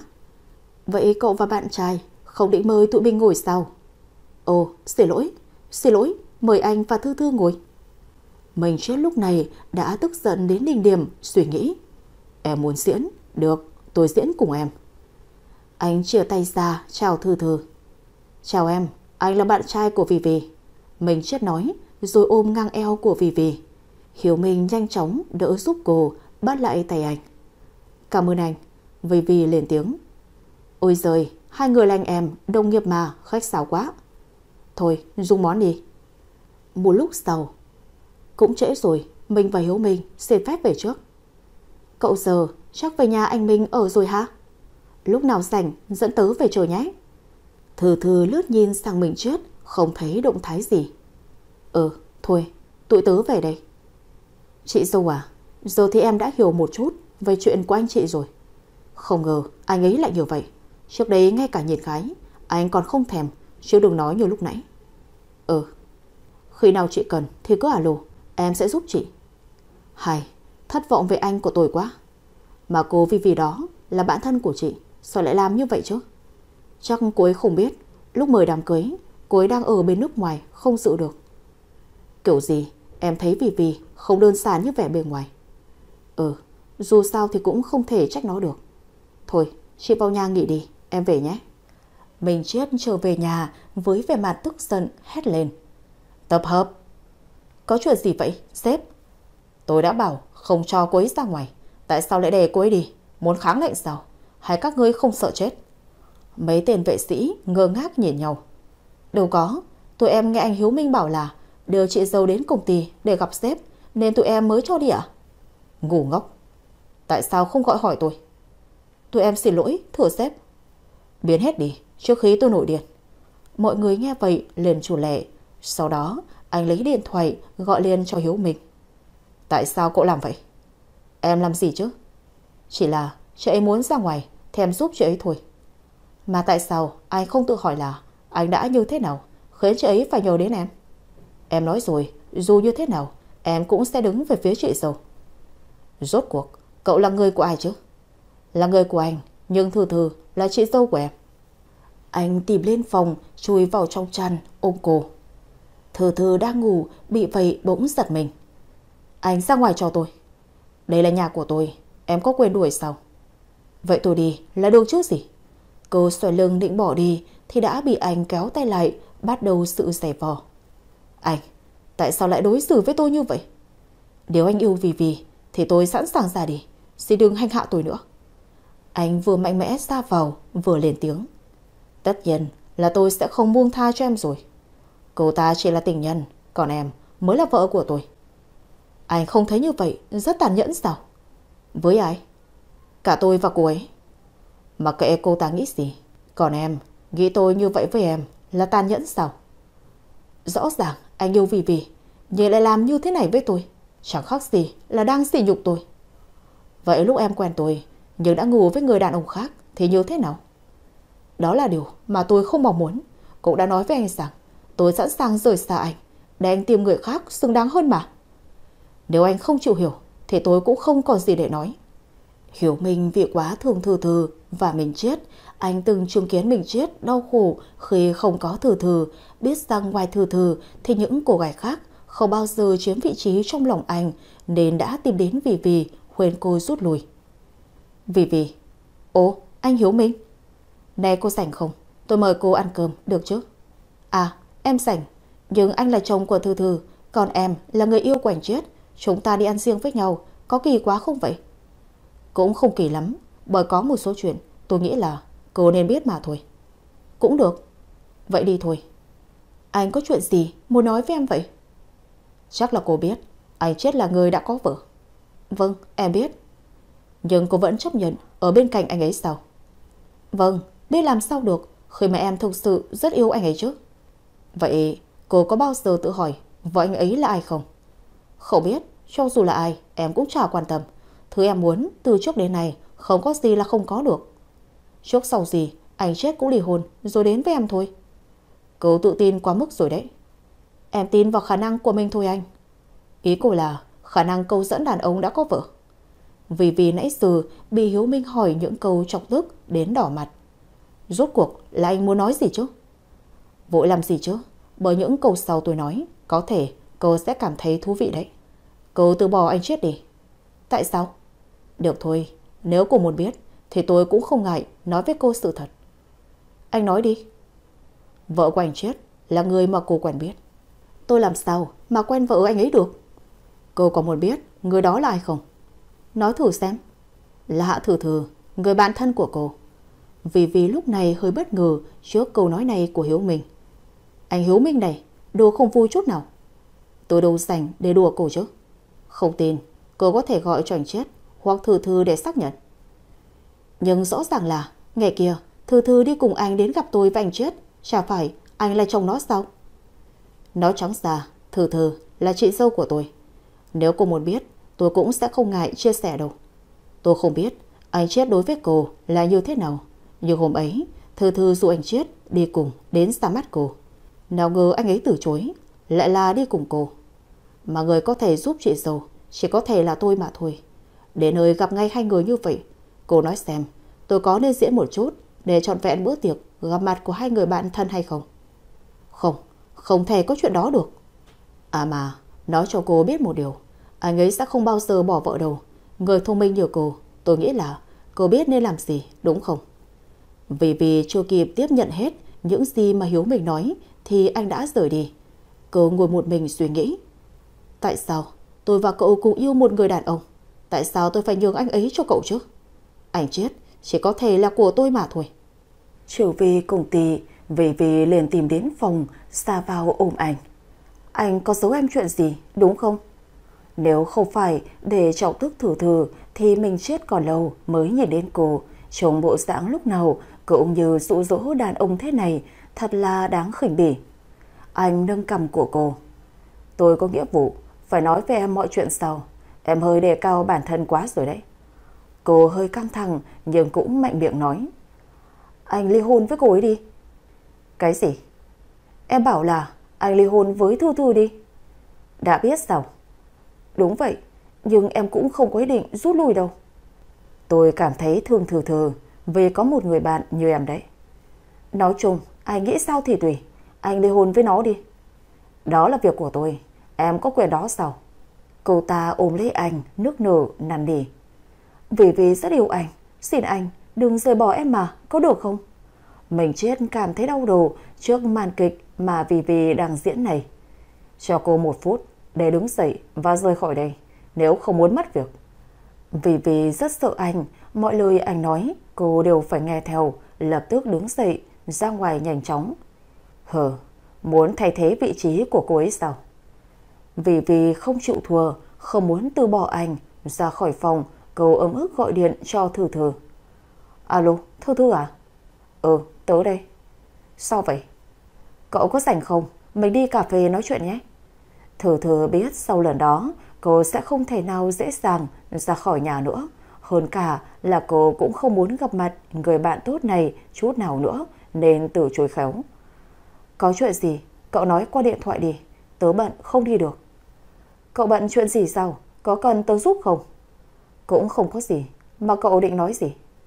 Thôi, bạn ơi, mày bớt sẽ lại đi. Mày là vợ anh chết, đúng không? Đã biết à? Hừ, cô một câu hỏi mà cả hai lại nói giống nhau. Rõ ràng là mày biết tao ở bên cạnh anh chết mà. Nhưng lúc gặp lại ra vờ vô tội, đáng thương. Rồi còn cùng anh Hiếu mình báo là vợ chồng. Diễn hay quá, bạn ạ. Thờ thờ cũng không phải là người dễ dàng bị ức hiếp. Vậy sao? Cảm ơn nhé. Nhưng tôi thấy trình độ diễn xuất của tôi vẫn thua xa một số người. Và hơn cả là tôi không có mặt dày, không vô liêm sỉ đến mức để giật chồng người khác, rồi ở đây cao giọng. Mày... Có gì nữa thì nói luôn đi. Da mặt tôi mỏng, không xanh ở đây, đôi co với những người mặt dày. Vì vì lúc này chuyển sang giọng điệu khác, năn nỉ cô bởi vì vì biết rằng điểm yếu của cô chính là sự mềm lòng và không nỡ nhẫn tâm. Thu Thư à, tao chưa từng cầu xin ai, nhưng tao thực sự rất yêu anh chết. Tao biết mày với anh chết đến với nhau không dựa trên tình yêu. Có nhớ tao cầu xin mày có được không? Mày rời xa anh ấy đi mà. Mày giúp tao lần này đi, Thư. Tao không thể nhường anh ấy được. Thờ thờ suy nghĩ trong lòng. Mày có thể nhường anh ấy không, thưa. Đúng vậy, anh ấy không yêu mày. Nếu ở bên cạnh Vì Vì, chắc chắn anh sẽ hạnh phúc, đúng không? Mày cũng yêu người ta, nhưng tại sao phải thế này chứ? Cô hỏi lại Vì Vì. Tôi làm sao giúp được cậu đây? Vì Vì nghe câu này thì biết rằng có hy vọng, nhanh chóng đáp. Mày chỉ cần rời xa anh ấy mà thôi, đến một đất nước khác sinh sống. Tao có thể giúp mày chuyện đó. Vài năm sau, khi mà tao và anh ấy đã là của nhau, mai trở về thì đã xong xuôi hết rồi. Vì vì năn nị cô.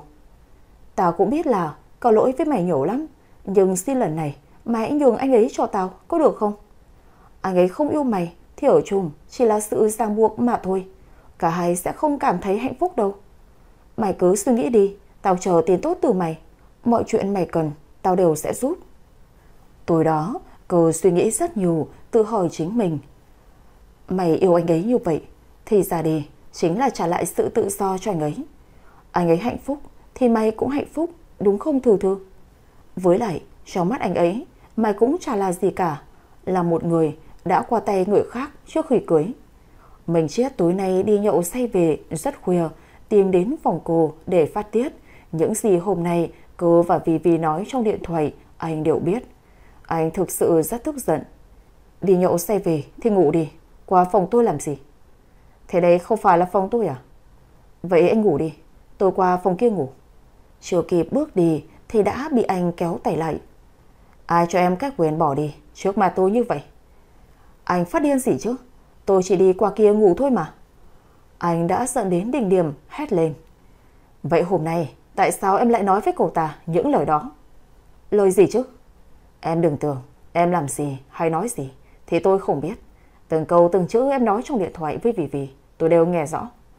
Cô cũng không bất ngờ vì điều này, biết rằng anh tuy ít ở nhà, nhưng lúc nào cũng kiểm soát cô. Vậy sao?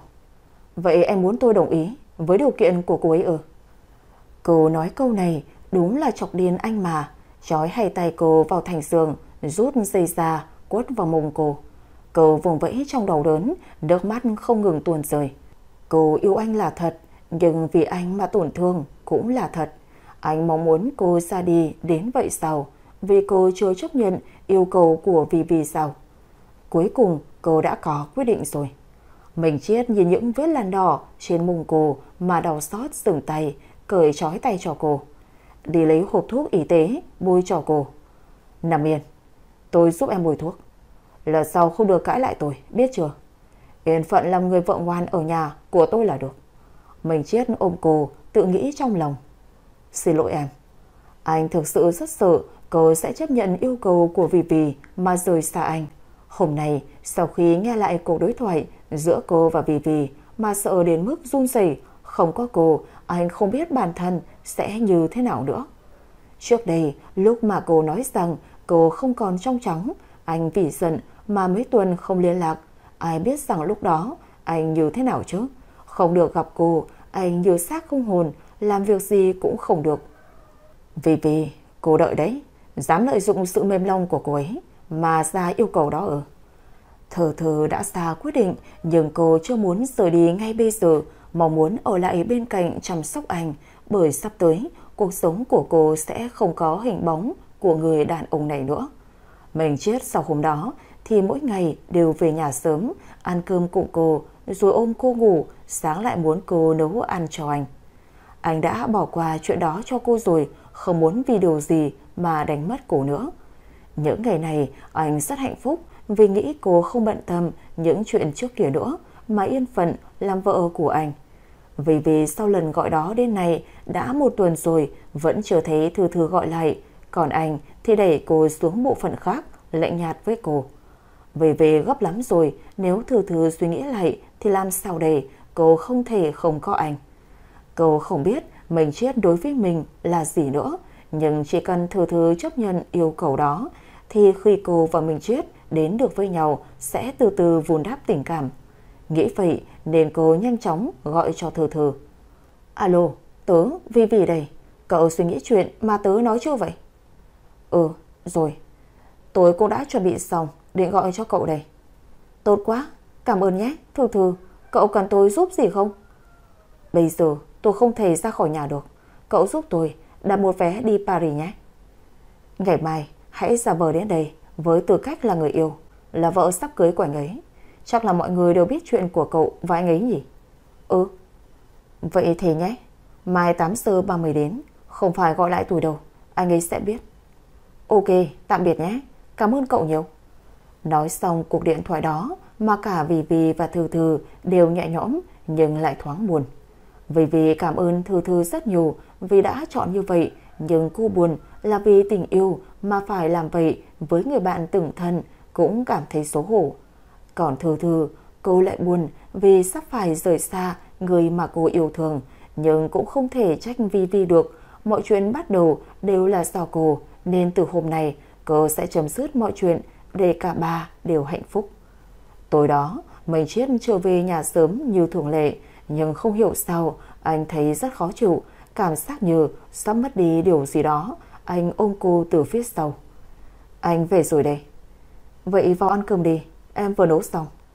Tối đó, hai người lại ngủ cùng nhau, nhưng lần này anh không muốn ôm cô như những lần trước. Vợ à, chúng ta làm một chút nhé. Làm gì? Làm chuyện mà vợ chồng nên làm ấy. Tối đó, anh làm rất nhẹ nhàng, cuối cùng thì cô cũng cảm nhận được điều đó. Sau khi làm xong, có lau giúp cô, anh nâng niu, trân trọng cô, nhưng đó là lần đầu cũng như lần cuối mà cô có thể cảm nhận được. Anh vẫn như vậy, không biết rằng đây là đêm cuối được ngủ cùng cô. Sáng hôm sau, thờ thờ vẫn nấu ăn cho mình chết như bình thường.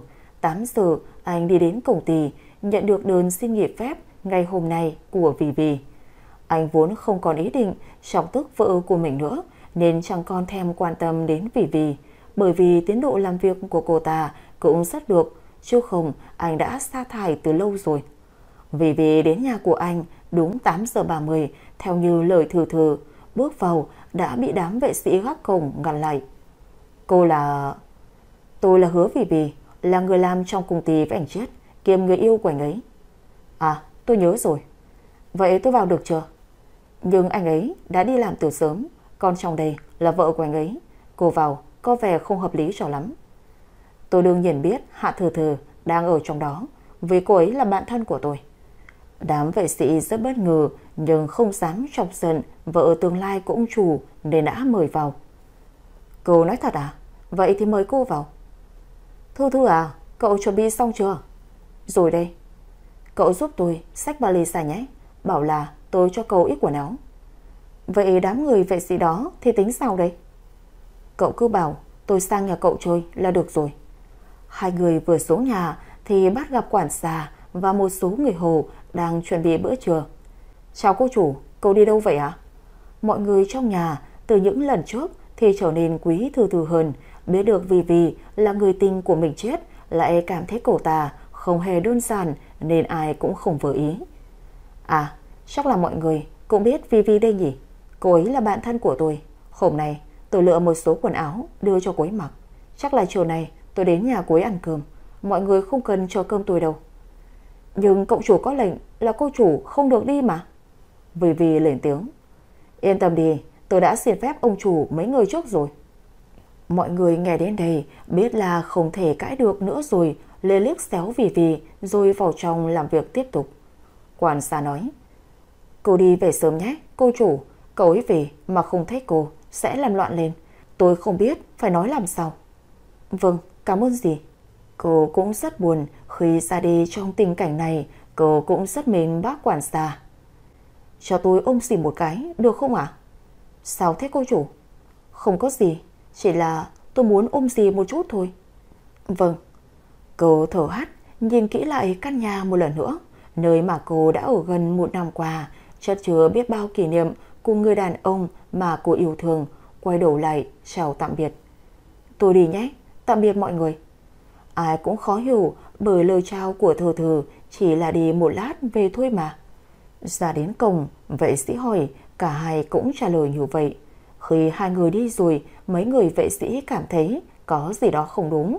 Người tình và vợ của sếp là bạn thân của nhau, rồi bây giờ còn đi chung. Sau khi sắp lên máy bay, Thư Thư không quên nhắn tin chào tạm biệt Hiếu Minh. Cảm ơn anh, thời gian qua đã giúp em nhé. Giờ là lúc em phải ra đi rồi, cũng hết được làm chị dâu của anh rồi. Anh ở lại, nhớ giữ gìn sức khỏe và ý giúp em chăm sóc anh chết nhé. Có gì, anh gửi lời nhắn của em đến anh ấy dùm là... Có thể, từ lúc lấy nhau về, em làm điều gì cũng không đúng, cũng không giỏi, khiến anh phải phiền lòng. Nhưng anh biết không, ngoài những việc đó ra, thì em nghĩ việc mà em giỏi nhất là chạy trốn khỏi anh giữa biển người. Dù biết là anh không yêu em, nhưng có những lúc anh lo lắng, chăm sóc cho em. Em cảm thấy rất vui và hạnh phúc. Rồi là lúc em phải ra đi, trả lại sự tự do cho anh rồi đấy. Vì vì là một cô gái tốt, em nghĩ là cô ấy sẽ rất giỏi trong việc làm vợ anh. Trân trọng nhau nhé. Chúc anh hạnh phúc. Gửi xong tin nhắn mà lòng cô quặn thắt, nước mắt không ngừng tuôn. Thay tôi ở bên cạnh và chăm sóc anh ấy nhé. Chúc hai người hạnh phúc. Tối giờ đi rồi, tôi đi đây. Thử thử, cảm ơn cậu rất nhiều vì đã làm điều này. Đồng ý với yêu cầu nhường anh ấy lại cho tôi. Qua bên đó, nhớ giữ gìn sức khỏe nhé. Ok, tạm biệt. Hiếu Minh đang làm việc thì nhận được tin nhắn, bấm vào đọc thì anh hoảng hồn vì thử thử vậy mà chọn cách rời xa mình chết.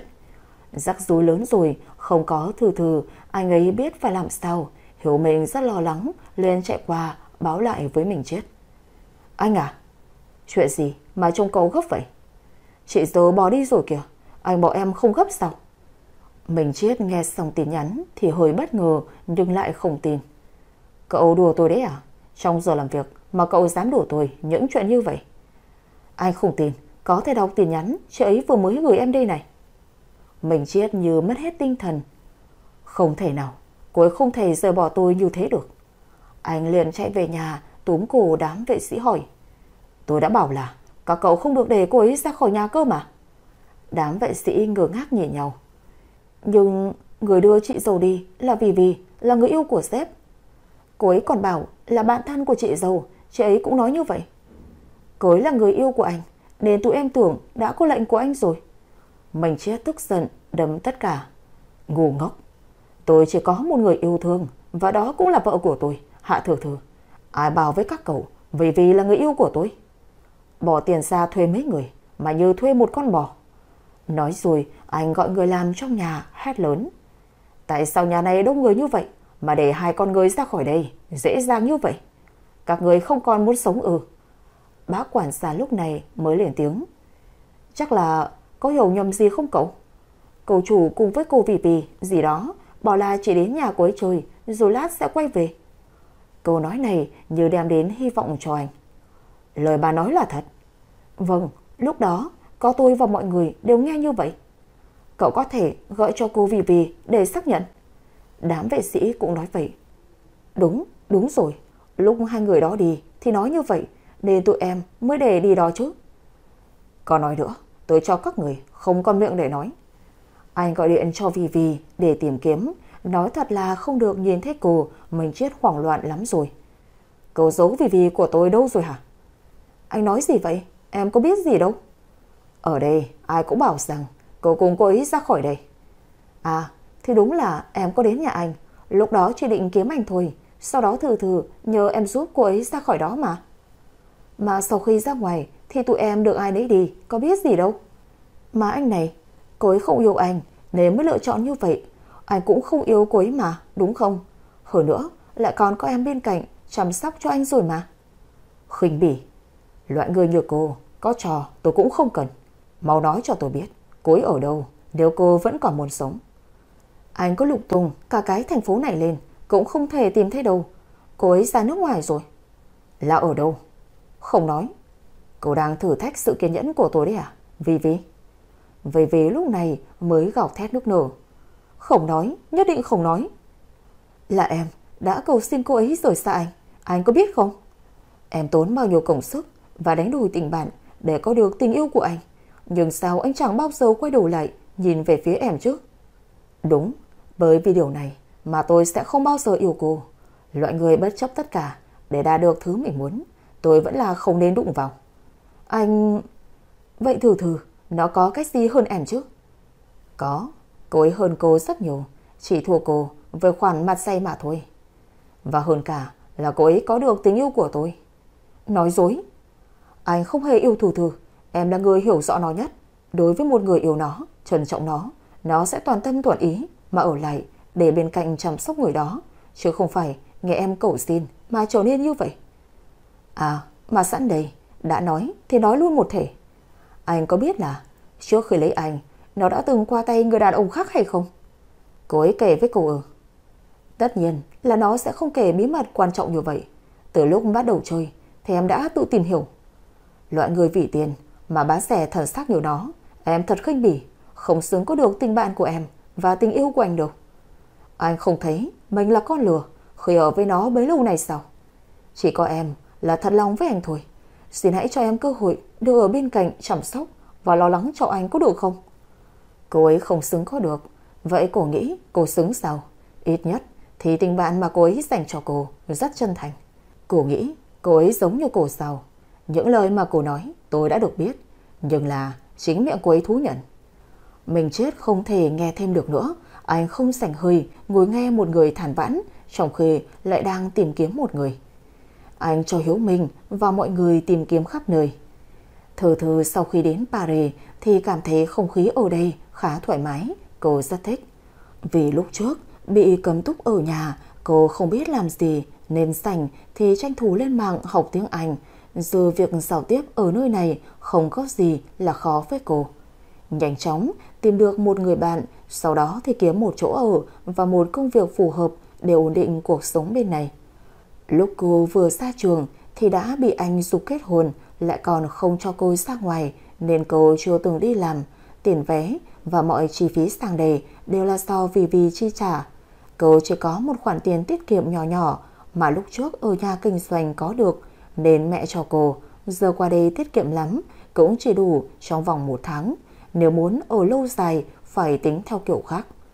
Cô cũng định sẽ quay về nhưng là lúc không còn vương vấn gì về anh nữa và trở về để được nhìn thấy anh hạnh phúc mà thôi. Ở bên này, mình chết dù lục tung cả thành phố, vẫn không tìm được thư thừa. Mới mấy ngày mà chồng anh không khác gì một cái xác không hồn. Người gây hẳn đi, dâu thì mọc dài, mới gần 30, nhưng người ngoài nhìn vào, không biết, thì còn tưởng anh đã bước qua tuổi 40. Lúc trước, anh phong độ biết bao, thì giờ đây, khi rời xa cô, anh càng tệ bấy nhiêu. Thế mới biết được tầm quan trọng của cô trong lòng anh như thế nào. Vì vì lúc trước bám lấy anh bao nhiêu bởi vì sự đẹp trai, tuấn tú, thì giờ từ khi Thư Thư bỏ đi, nhìn thấy anh như vậy, cảm giác hứng thú đã không còn nữa, cảm thấy bản thân vừa xanh dân một thứ gì đó không có giá trị nên đã chủ động xin nghỉ việc. Nếu mình chết nghe được, biết được vì vì dám nghĩ anh như vậy chắc là sẽ tức chết. Mặc dù bận phải lo tìm kiếm thử thử, nhưng anh vẫn không thể nào bỏ bê việc ở công ty. Sao thế?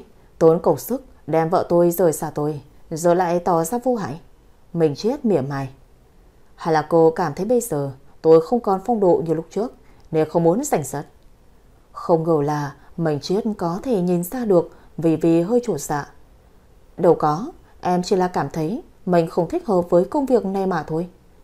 Vậy hãy nói, cô đưa Thư Thư đi đâu Trước khi nghỉ việc chứ Cô ta bày ra bộ dạng ủy khuất. Em không biết đâu, Mà nếu nó thật lòng yêu sếp, Thì không vì một lời nói của em Mà bỏ đi như vậy đâu. Vì vì nói câu này Nhớ chạm vào nỗi đau của mình chết, Anh thật sự rất sợ Anh yêu Thư Thư đến mức Không thể không có cô, Thư Thư không thể không yêu anh được. Anh tức giận gằn lên. Mau cút. Thư Thư ở bên này, Sau một tháng, Thì cuộc sống đã dần ổn định. Từ khi bỏ đi, Cô đã thay số mới, Cắt đứt mọi liên lạc với anh. Duy chỉ có số của anh Là mãi nằm trong trí nhớ của cô. Mỗi tối, cô cứ nhập dãy số đó ra, Rồi lại xóa. Thật sự là nhớ anh đến mức Không chịu được rồi, Nhưng lại không có can đảm. Sợ rằng gọi rồi sẽ nghe tiếng của Vì Vì Chứ không phải là anh. Lúc đó sẽ khó xử như thế nào chứ? Cũng trong một tháng, Mình chết không tìm thấy được thừa thừa Anh đã rất bất lực, Trở bệnh nặng. Bác sĩ thăm khám cho anh, Cũng lắc đầu. Hiếu Minh ở bên ngoài, lo lắng. Anh tôi sao vậy, bác sĩ? Tôi nghĩ, anh ấy mắc tâm bệnh. Tâm bệnh? Đúng vậy, Chỉ có người gây ra mới có thể chữa khỏi cho cậu ấy. Hiếu Minh liền hiểu bệnh mà mình chết mắc phải là gì chỉ có chị giàu mới có thể chữa khỏi. Vì quá thương mình chết Và cũng mến chị giàu Nên anh tìm cách để tìm thử thử Anh suy nghĩ nếu vì vì đưa Thư Thư đi Thì chỉ có cách lấy thông tin từ cô ta mà thôi. Anh cho người điều tra vì vì Biết được rằng cô từ xưa lúc ở quán bà Đã nhìn chúng anh, mình chết. Nhưng anh ấy chỉ nhìn mỗi Thư Thư. Sau này lúc ở nước ngoài Thư Thư lại mời đám cưới nhưng chú rể in trên tấm thiệp là tên mình chết Vì vì lúc này mới tức giận khổn nguôi Từ chối về sự Rồi lên kế hoạch để về nước quyến rũ anh không ngờ mình chết vì tức giận thử thử chuyện không còn trong trắng mà giả vờ diễn kịch với cô. Còn vì vì thay vậy thì lại tưởng cá gặp nước, giả sức mà ôm ấp anh. Buổi tối đầu tiên mà bốn người gặp mặt nhau, rõ ràng cô ta biết Thư Thư là vợ anh nhưng vẫn cố tình làm như vậy để xem phản ứng của hai người. Không ngờ ai nấy đều nhập vài diễn, nhanh chóng khiến cô bất ngờ. Rồi khi nghe Hiếu Minh khai ra câu chuyện của họ thì cô cũng không có gì là lạ nhưng lại bày ra bộ dạng ủy khuất. Đó là những gì mà Hiếu Minh biết được về cô ta sau nhiều lần điều tra. Không ngờ cô ta lại là loại người quỷ quyệt như thế này. Vì vì em có biết được một số thùng tiền nữa anh Hiếu Minh ạ. Nói nhanh. Gia đình cô ấy ở bên Mỹ hiện đang hợp tác làm ăn với công ty của ta. Nếu như ta rút vốn đầu tư thì có lẽ bên đó sẽ không còn gì cả. Hiếu Minh nghe xong thì cười nhẹ, không ngờ ông trời sau cùng vẫn là giúp đỡ tác hợp cho cặp ấy về lại bên nhau. Đây chính là điểm yếu mà buộc Vì Vì phải khai ra nơi thừa thừa đến. Sau khi nghe Hiếu Minh kể lại mọi chuyện thì tâm tình của mình chết khá lên hẳn cho người tìm Vì Vì đến thương lượng trước đã. Vì Vì sau khi xin nghỉ việc và chứng kiến mình chết vì thử thử mà đau khổ thế nào thì cũng nhận ra mình đã sai. Nhưng chuyện cũng đã rồi, không thể quay đầu, cách tốt nhất là chỉ có thể rời xa anh.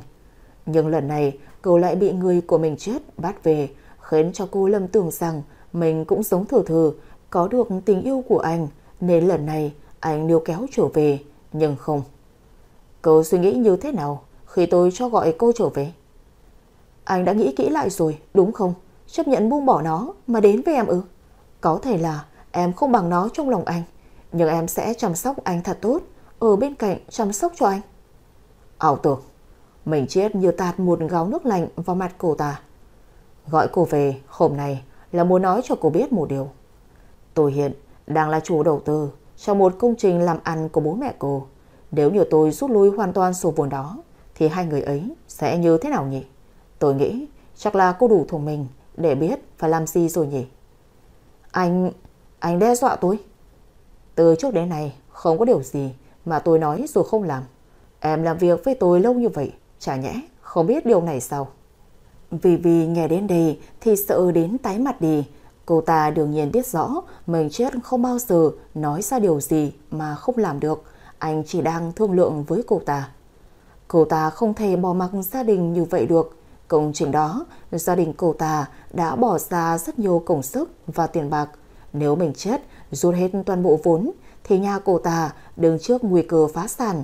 Cô ta cầu xin anh. Em sai rồi, em đã sai khi chọc giận anh. Cầu xin anh, đừng làm như vậy mà.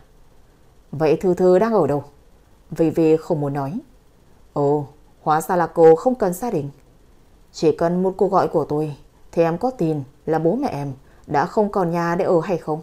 Đừng thử thách sự kiên nhẫn của tôi. Thư... Thư Thư đang ở Pháp. Địa chỉ là... Cô ta sau khi đọc xong bắt đầu van nại anh. Không phải, không phải là em không muốn nói cho anh biết. Nhưng mọi chuyện bắt đầu là từ em. Em cầu xin cô ấy rời đi. Cô ấy cũng muốn như vậy nên đã cầu xin em giữ bí mật. Thực sự là em không cố ý. Hóa ra là cô cũng biết sợ sầu. Nếu còn muốn sống yên ổn thì đừng bao giờ trở về đây là phiền tôi và thừa thứ nữa. Vì vì gấp gáp. Vâng, em em biết rồi ạ. À? Cảm ơn anh. Mình chết sau khi có được tin tức của vợ mình từ Vì Vì thì vui sướng vô cùng, lập tức bắt phi cơ riêng sang đó đón cô về. Đến theo địa chỉ nhưng anh lại không vào. Biết rằng cô đang còn giận, nếu gặp cô sẽ lại trốn tiếp thì anh biết phải làm sao nên đã sang nhà hàng xóm hỏi thăm tình hình phải đứng trước mặt rước cô về mới được. Cho hỏi, ngôi nhà bên này có phải nhà của Hạ Thư không à? Đúng vậy, anh là... Tôi là chồng của cô ấy. Có thể cho tôi biết vào khung giờ nào thì cô ấy trở về không? Người hàng xóm ngờ vực cảm thấy khó tin. Anh nói thật không vậy? Tôi cũng rất thân với cô ấy, nhưng chưa từng nghe nhắc gì đến việc cô ấy có chồng cả. À, cô ấy giận tôi, nếu mới đến tận đất nước xa xôi này, giờ tôi đến rước cô ấy đây. Mình chết nói rồi cười nhẹ khiến người hàng xóm đều đứng. Cô ấy thường đi lúc 7 giờ sáng và trở về nhà vào lúc 5 giờ chiều. Ồ, dạ vậy, cảm ơn chị nhé. Anh canh chừng đến giờ thư thư về, vào nhà được 10 phút thì nhờ chị hàng xóm đến gõ cửa. Ai vậy? Là tôi đây. Nghe giọng của chị hàng xóm thì cô yên tâm hơn, mở cửa. Nhưng cửa vừa mở ra không phải là chị hàng xóm mà là một hình bóng rất quen thuộc mà hàng đêm cô vẫn nhung nhớ. Định đóng cửa lại nhưng đã bị cánh tay của anh ngăn lại. Mình chết bước một sải lớn đến ôm chầm lấy cô thật chặt. Ai cho phép em rời xa tôi lâu như vậy? Vẫn là lời nói bức người nhiều thế nhưng giọng điệu lại rất nhẹ nhàng. Em... em... Anh buông em ra. Khụ, nghe thở mất.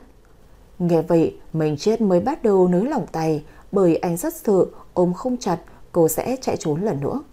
Gặp anh, cô cũng run rẩy không kém, tim đập nhanh, mọi cảm xúc bấy lâu như ùa về ngay lúc này.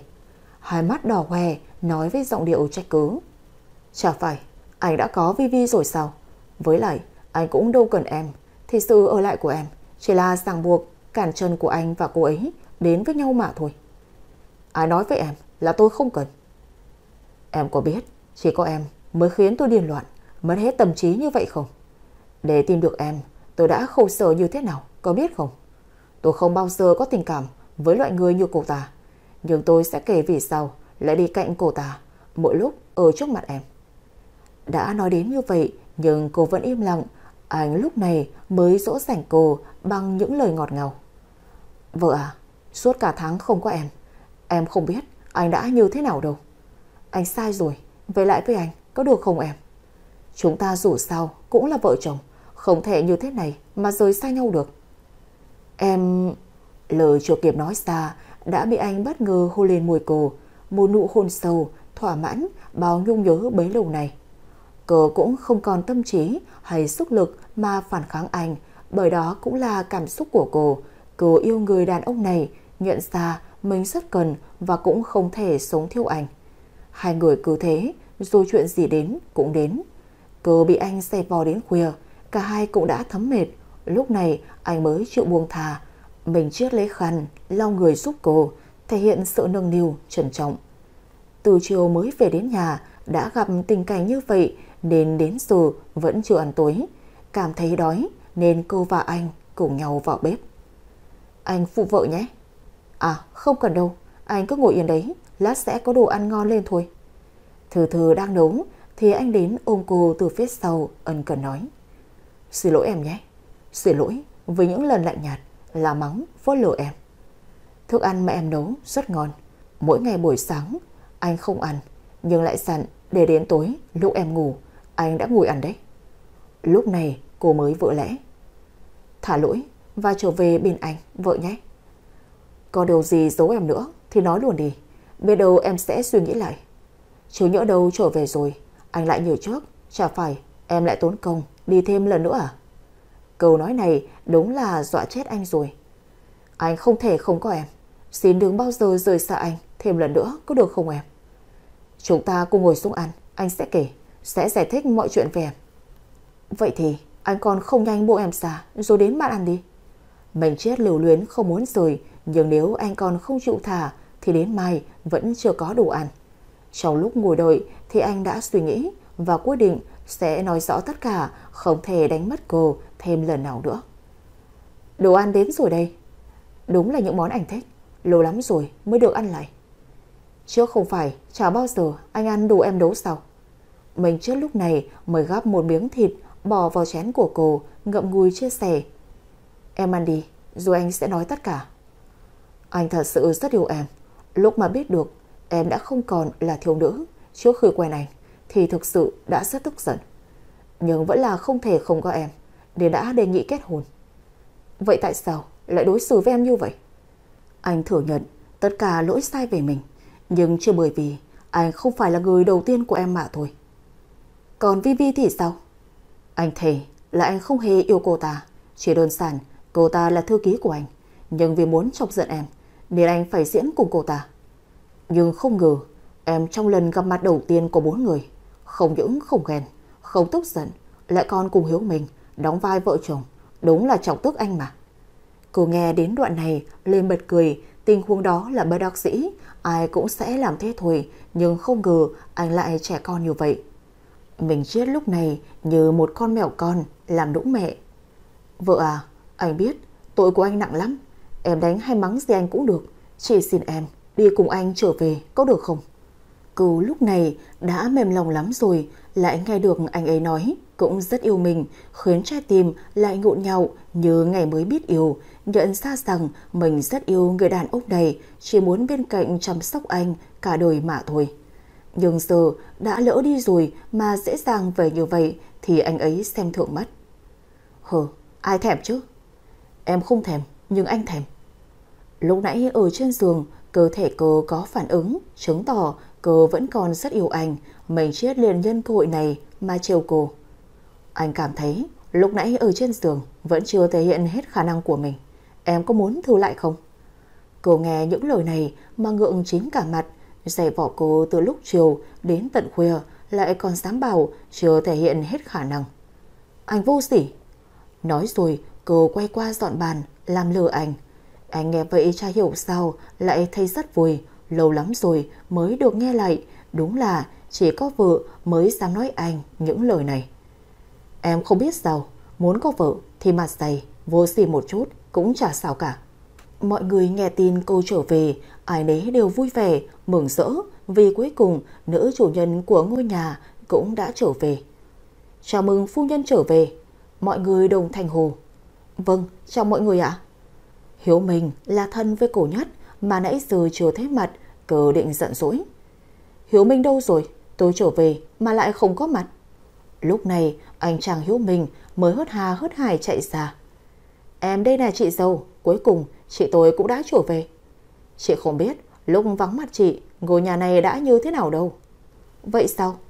Mình Chiên đứng bên cạnh, thấy cô cười nói vui vẻ với Hiếu Minh mà bỏ lơ chồng là anh, không thèm để ý, đúng là chọc tức chết anh mà. Này, hai người còn không mau vào nhà ăn chưa? Tính nói chuyện đến bao giờ? Cô ấy là vợ của anh đấy. Mọi người nghe vậy thì bật cười, biểu cảm đang ghen này thật là đáng yêu thật đấy. Vâng, em nào dám giành chị dâu với anh chứ? Từ ngày thừa thư trở về, mình chết ngày nào cũng đi làm muộn về nhà sớm, cưng chờ vợ vô hạn, không để cơ phải chịu một thiệt thòi nào cả. Hôm nay vì bận phải tiếp đối tác làm ăn nên anh về có hơi muộn. Vào phòng thì cô đã ngủ lúc nào không hay. Anh vào phòng tắm xong ra nhịn cô, lúc này lại muốn phá. Ôm cô rồi đưa tay vào áo cô nhằm nơi đẫy đà mà xoa nắn. Thơ thơ đã ngủ ngon lại có cảm giác nhột nhột biết anh đã về. Ưm, làm gì vậy? Buồn ngủ muốn chết. Em không đợi anh về. Ai rảnh chứ? Cô nói với giọng hờn dỗi, ý bảo anh về khuya. Thôi thôi được rồi, là anh sai, được chưa? Vợ à, giờ chúng ta làm một chút nhé. Làm gì chứ? Cô tỏ vẻ khó hiểu. Làm chuyện vợ chồng nên làm. Sau đó là một đêm mặn nồng lại diễn ra. Mấy bữa này cờ cứ thấy trong người khó chịu, nghĩ chắc là sao ở nhà rảnh quá, sinh xa như vậy. Món ăn khoái khẩu của cô là cá kho vì từng ở trong giai đoạn khó khăn, cô đã từng ăn những món bình dân như vậy, lại cảm thấy rất ngon hơn những món ăn đắt tiền khác. Hôm nay, trong bữa ăn, quản gia biết cô rất thích nên đã sai người làm chuẩn bị. Không hiểu sao, vừa bước xuống, nghe mùi lại cảm thấy buồn nôn, chạy vào phòng vệ sinh, đồn thốc đồn tháo, khiến anh lo lắng. Vợ, vợ à, em sao vậy? Tành quá, quẹ, đem đồ hết mấy món cá này cho tôi. Quản gia thấy lạ bởi mấy món này sửa này là những món rất hợp khẩu vị của cô.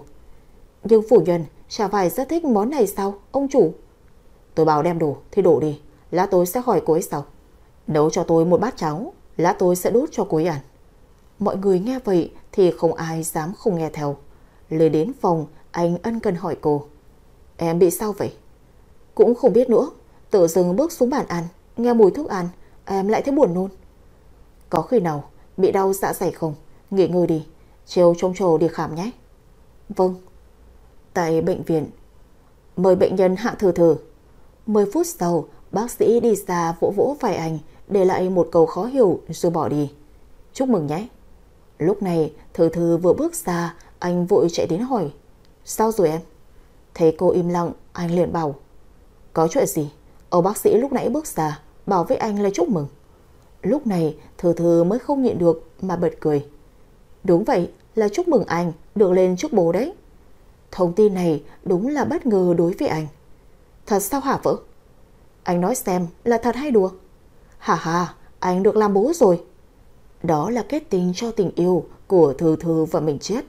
Con người ta thường đánh giá một người con gái, một người vợ bằng sự trong trắng, bằng trình tiết. Nhưng tình yêu đã chứng minh được tất cả. Đó là sự chiến thắng của trái tim trở thành ngoại lệ của mọi điều. Quý vị và các bạn thân mến, bộ truyện đến đây là kết thúc rồi. Quý vị và các bạn đừng quên like, chia sẻ, comment, đăng ký kênh cũng như nhấn vào hình quả chuông để nhận được thông báo sớm nhất khi có chuyện mới nhé. Xin chào và hẹn gặp lại!